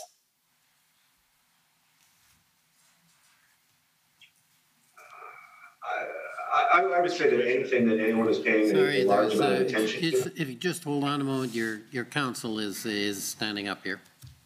I'm not sure social media can have an intent. Not sure the question is precise, and I'm not sure how relevant it is in the circumstances.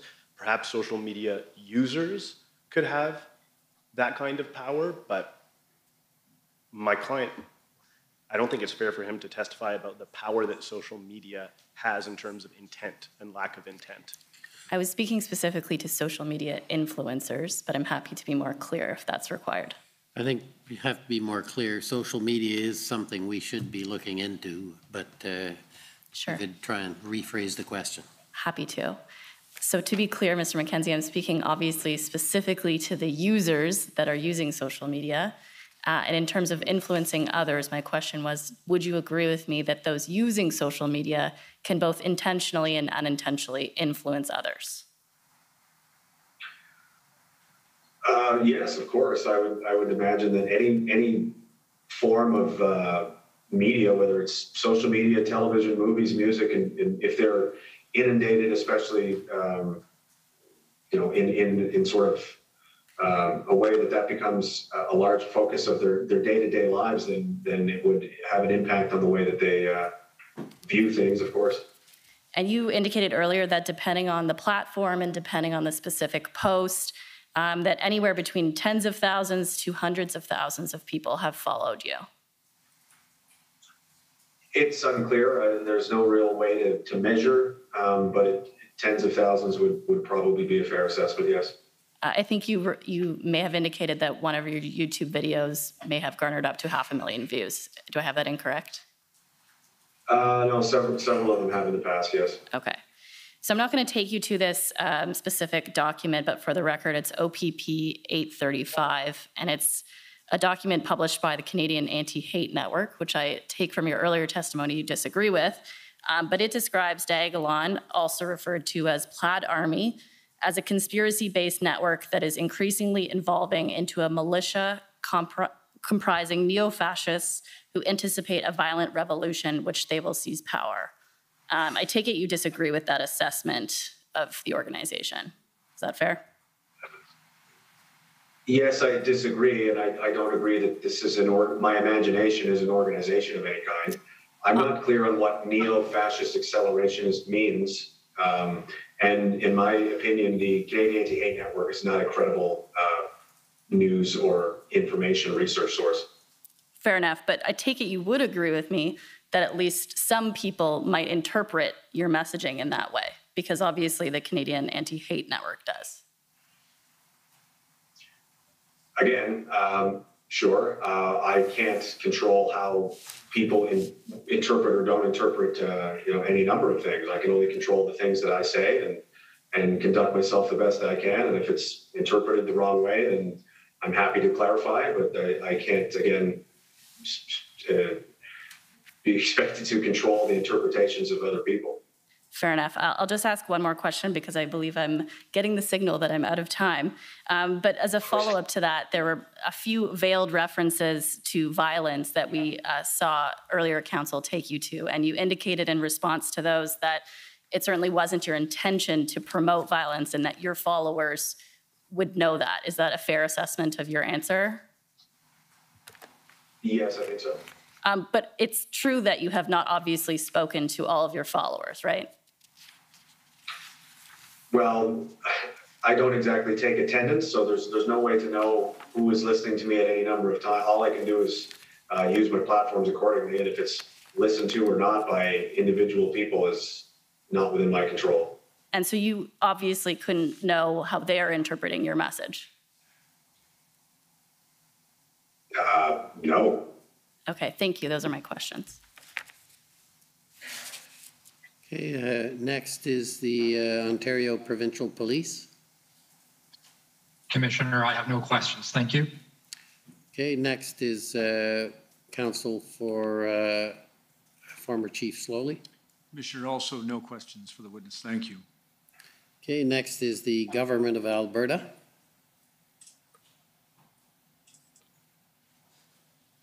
Thank you, Commissioner. We have no questions either. Okay, the uh, Democracy Fund, uh, JCCF. uh, This is Antoine D'Ailly for the Citizens for Freedom. Um, our- Our group would like to s- cede our time to counsel uh, for the witness. Oh, this seems to be a popular person, uh, Mr. Foda. I, uh, I guess it's your turn. They seem to have collected a lot of support. I won't need all the time, Mr. Commissioner, but I'm happy to commence now. Go ahead. Thank you, sir.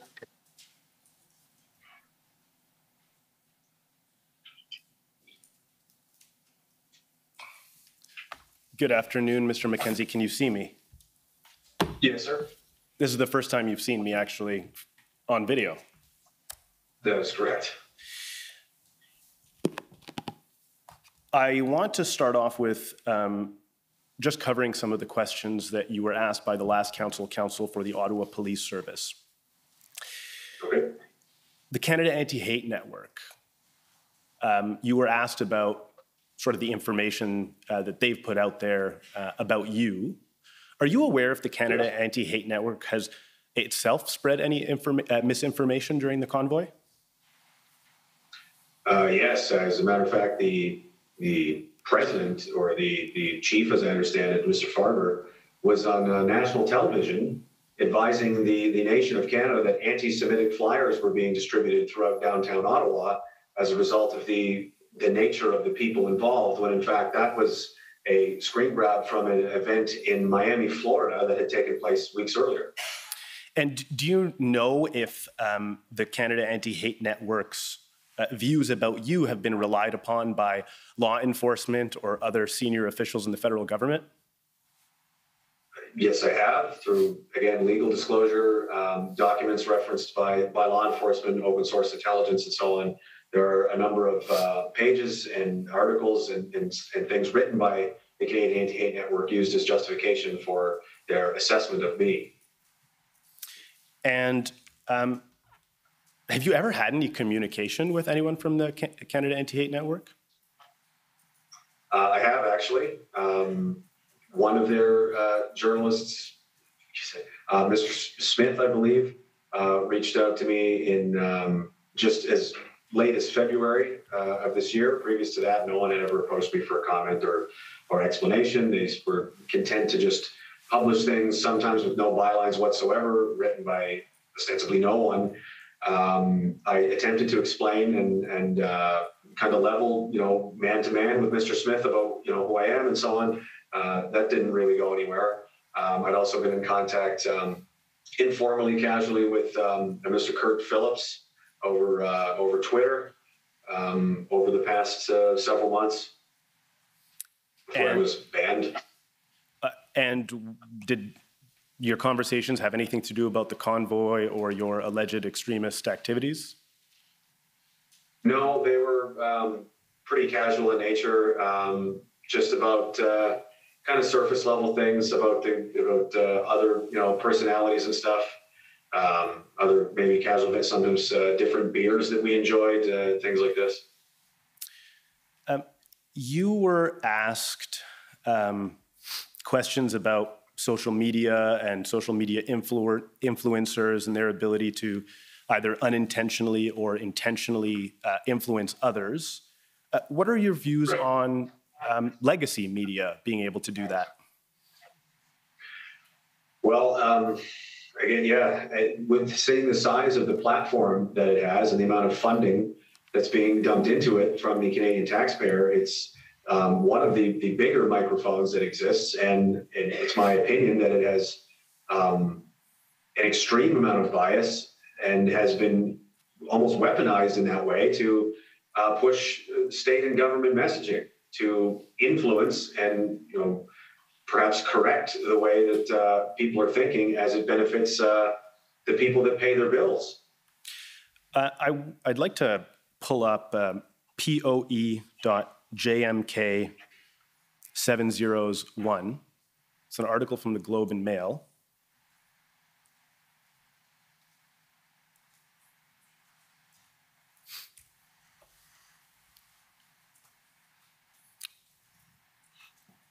Can you see this article on your screen, Mr. Mackenzie?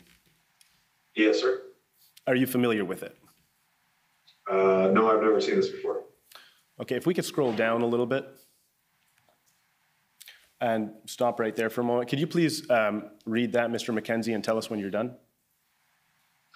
Uh, yes, sir. You want me to read it aloud or just what? Sorry. No, just to yourself. I'm going to just cover some of the content in that. Okay. Yeah, I've got it. Thanks. Okay, if we could go down a little bit further.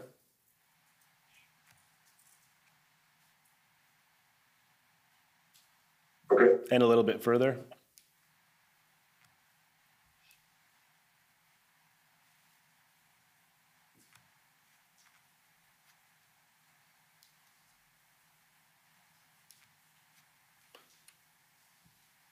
And then just a little bit further.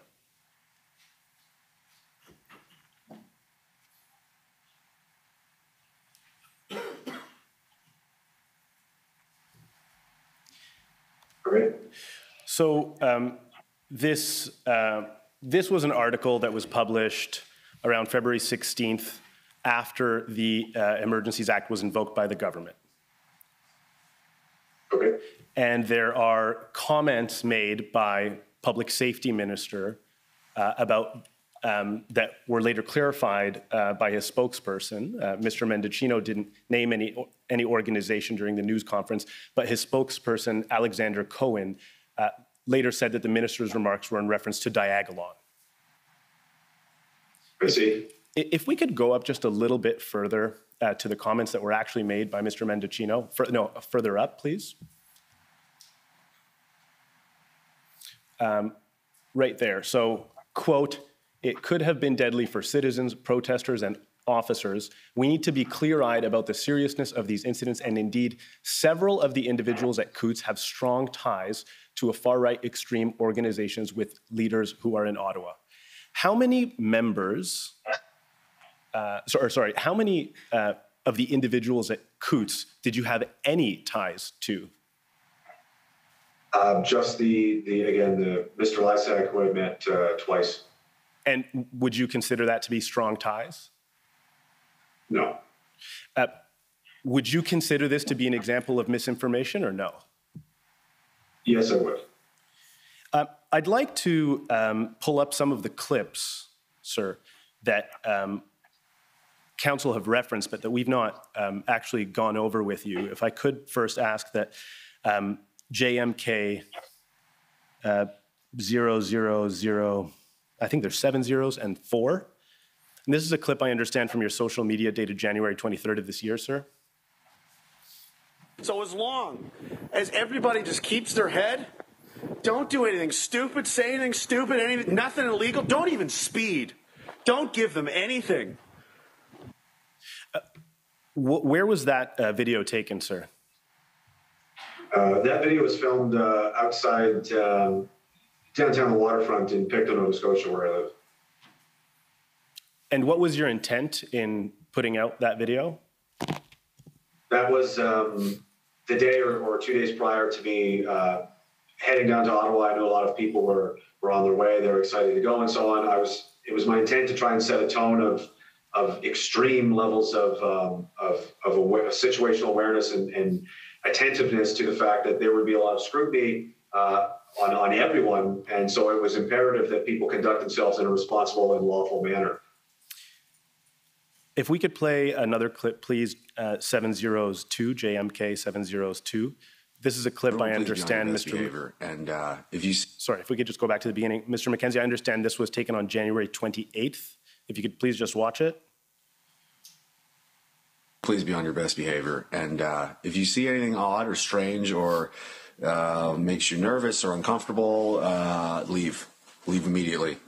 And um, keep your, you know, your your phone, uh, your camera is probably your your best defense.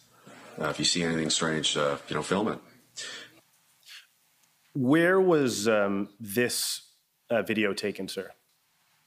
Uh, that video appears to be taken in, in the, uh, the, the uh, residence I mentioned earlier that we uh, stayed at a large amount of the time uh, outside the city of Ottawa. And what was the message that you were trying to convey?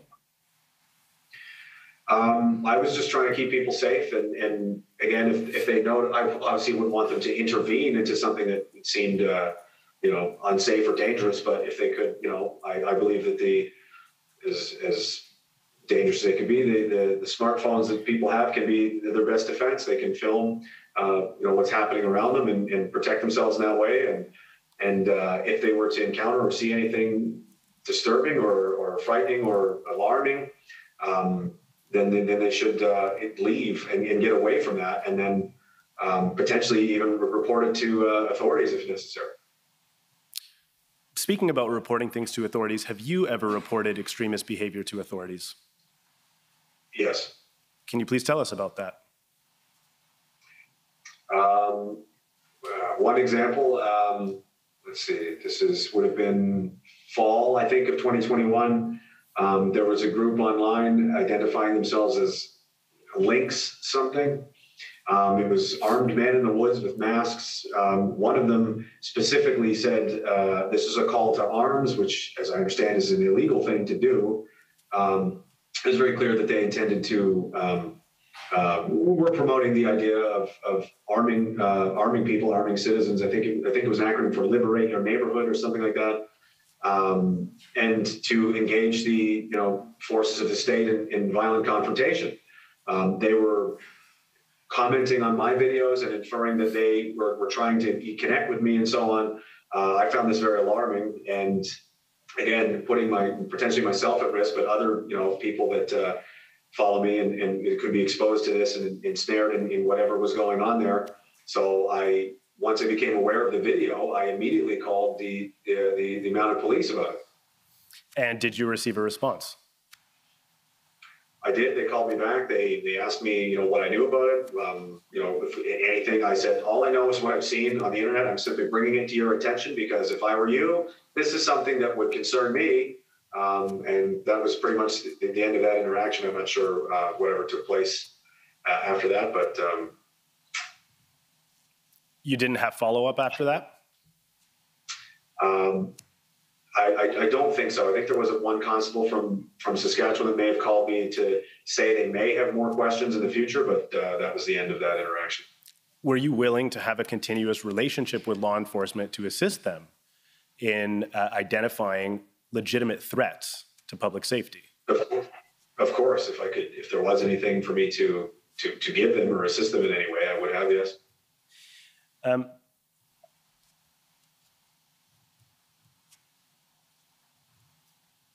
I'd like to uh, play another clip, JMK 701.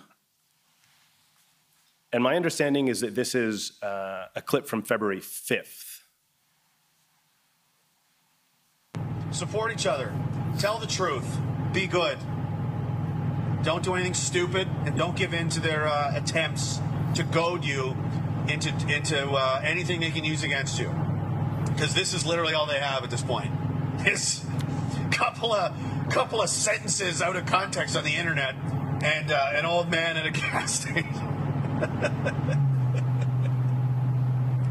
it's ridiculous, you know. Meanwhile, uh, the, the, the high horse they stand on. Oh, we're so much better people. We're so much better people. We're, the, we're morally superior, said the man in blackface. Uh, where were you when this video was taken, sir? Uh, I believe I was driving, traveling back to Ottawa from from the Maritimes. Okay. Can you please tell the commissioner um, sort of what your um, itinerary was during the convoy protests? Um, from beginning to, to end, or Uh, yeah, my understanding is that you were not in Ottawa the entire time. Can you uh, sort of just go over in general terms your itinerary?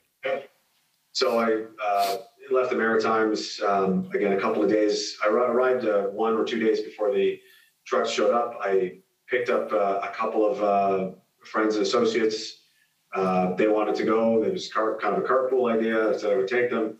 Uh, we went down, um, met up with some people, stayed at the, uh, at the location I mentioned, and then after uh, roughly five days or so, uh, these these gentlemen had to go home. Um, I drove them home. I only intended to stay uh, for that length of time, um, and then when I got home, I decided I was. It, it was clear. It was it was unclear how long this was going to go on. So um, I decided to go back. A few days later, um, that's around the time is when I made that video, and then uh, I stayed in Ottawa, the Ottawa area, for the duration um, until probably th- three to four days after the uh, invocation of the Emergency Act and uh, everyone was cleared out of downtown. Um, then uh, my my partner and I um, left and uh, moved, went we headed back to the Maritimes. When you were in Ottawa, did you engage in any illegal activity? No. Uh, did you bring a vehicle? Yes, I drove my uh, my personal vehicle. It's a, a pickup truck. Where did you park? Um, either on the, the farm where we were staying or hotel parking lots that I you know would stay at, or if it was in the interest of going downtown to to uh, to, to see the protest, I would park in parking lots and that were available as close as possible, and then walk the remaining couple of blocks. Did you pay for parking? Yes. Did you assault anyone while you were in Ottawa? No. Threaten anyone while you were there? No. Did you engage in violent behavior? No, sir. Were you armed? No. Were you charged with any offenses in relation to your participation to the con- uh, in the convoy in Ottawa? No, sir. Do you believe, uh, or do you know whether or not your public uh, political commentary has drawn the ire of officials? That is my belief. Yes. Sir, um, you were asked questions about uh, whether you had any, uh, whether uh, Diagolon had any um, structure. I think you were asked if you had any formal authority over anyone in the Diagolon community. And I believe you indicated that there was no hierarchy uh, or no formal structure. Correct. Uh, to be fair, you have a vice president. Uh, yes. Could you tell the commissioner who your vice president is? Uh, the vice president is of, of Diagolon, which is of my imagination. He is a, uh, a, a my sidekick uh, that has evolved over the years. He's a, he's a demonic goat figurine named Philip with a uh, very, very serious narcotics problem and uh, time traveling ability. Do you think any reasonable person who consumes your content either regularly or semi regularly would actually consider Diagolon to be an organization? I, I would think not, no.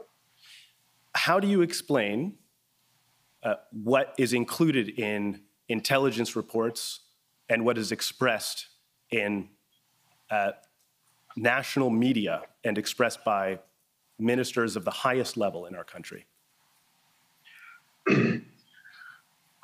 it's my opinion that the foundational work by the Canadian Anti Hate Network, as pertains to targeting me as a previously government funded, has enjoyed a fair amount of government funding to target and smear people um, that they, you know, consider perhaps politically inconvenient or people that just uh, want to shut up. Um, they regularly engage in defamatory statements, uh, libelous action, things like this. Out of context uh, statements, they'll take a clip here, a sentence there, and, and stitch it together and, and, make it appear as, as, as, something that it is not.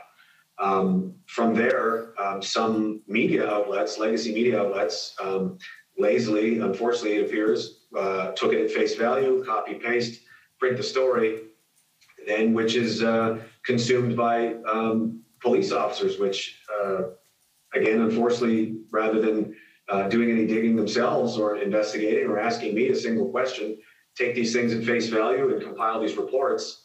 And uh, up the uh, up the network it goes until it lands on the desk of the public safety minister, or, or you know perhaps even uh, the prime minister's office, where they're faced with these uh, scenarios that have no basis in reality. Um, I consider this entire situation entirely avoidable. This um, none of this needed to happen, and it's, it's absurd. And I consider it the single most embarrassing and grotesque intelligence failure in national history. Uh, Mr. Mather, um, when he first uh, started asking you questions, clarified that you're uh, you're obviously testifying from in custody. Yes, sir. Okay, uh, and uh, my understanding is you have no uh, criminal record. That's correct. How do you intend on pleading to all of the charges that you face? Not guilty. Those are my questions. Okay, thank you. Any uh, reexamination? Uh, no, Mr. Commissioner, thank you. Okay, well, th- thank you for your testimony, uh, Mr. Mackenzie, and good luck with your trials. Thank you, Commissioner. Okay, next, uh,